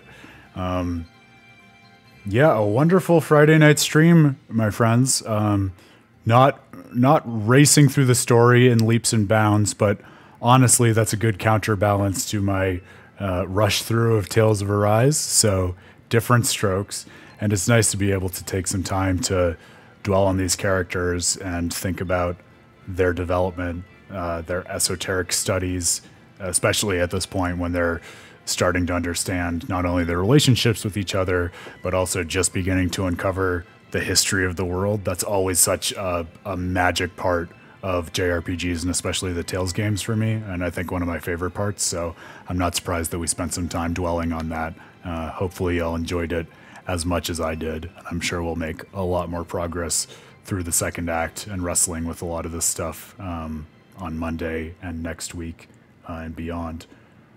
All right. Good looking out, Pottery. Uh, wow, I, I read it slaps, and I was not expecting the end of that message to go to sword lesbians in space, but I will I will add it to the list. Oh my goodness. Never a dull moment with you, my friends. I, it's it's a real question. Like, of all of the possible parties in these JRPGs, how does our real life JRPG party stack up? And I think we're definitely, uh, you know, true to the Tales games, getting some more personality and quirks and jokes and insight and all the good stuff that these JRPG parties get as we push further along in Tales of Praxis, uh, which is such a joy for me. Um, dear friends, Grail, Pottery, Pink Moon Neko, so nice to have the representation uh, on a chill Friday evening, working through the ins and outs of Berseria. Um, well, just nerds, you say, Grail, but nerds with very different approaches to these games, a, a common appreciation for a work of art, um, but with a lot of nuances in between, just like these fine members of this JRPG party, all of whom have their own interests, but alignment in a single mission that they're undertaking. So, gotta love some good symmetry. Um, I will definitely be thinking about all of the different, you know, um, considerations and points of continuity that we raised between a lot of the different Tales games. I think this was a fantastic stream for that. Also, I think we raised a lot of stuff that is worth mulling uh, about the differences that are coming up and just points of contention really between Tales of Zestiria and Tales of Berseria. So let that be your homework. Uh, if you dwell on this at all over the weekend, let's all think a little bit more about um, you know remembering what Zestiria was trying to say in terms of the relationship between um, concepts like malevolence and concepts like morality and how they interact and don't reduce to one another. And now that we're starting to learn more about like the the deep history of this world and also see more of the colors of these characters in terms of the good and bad things they're doing, but also how those connect up with their intentions and actions. Um, what those games might be teeing up in terms of intertextual relationships between them. And maybe, just maybe, who knows, we uh, might get into some esoteric exegetical practices of our own uh, this coming week and on the streams beyond. Uh, God knows this is this is good eating for all of that. Um, all right, my dear friends, thank you for a great stream. Thank you for your insights on all things to do with the philosophy of game narrative. Uh, I'm Aaron Suduiko, the founder of With a Terrible Fate.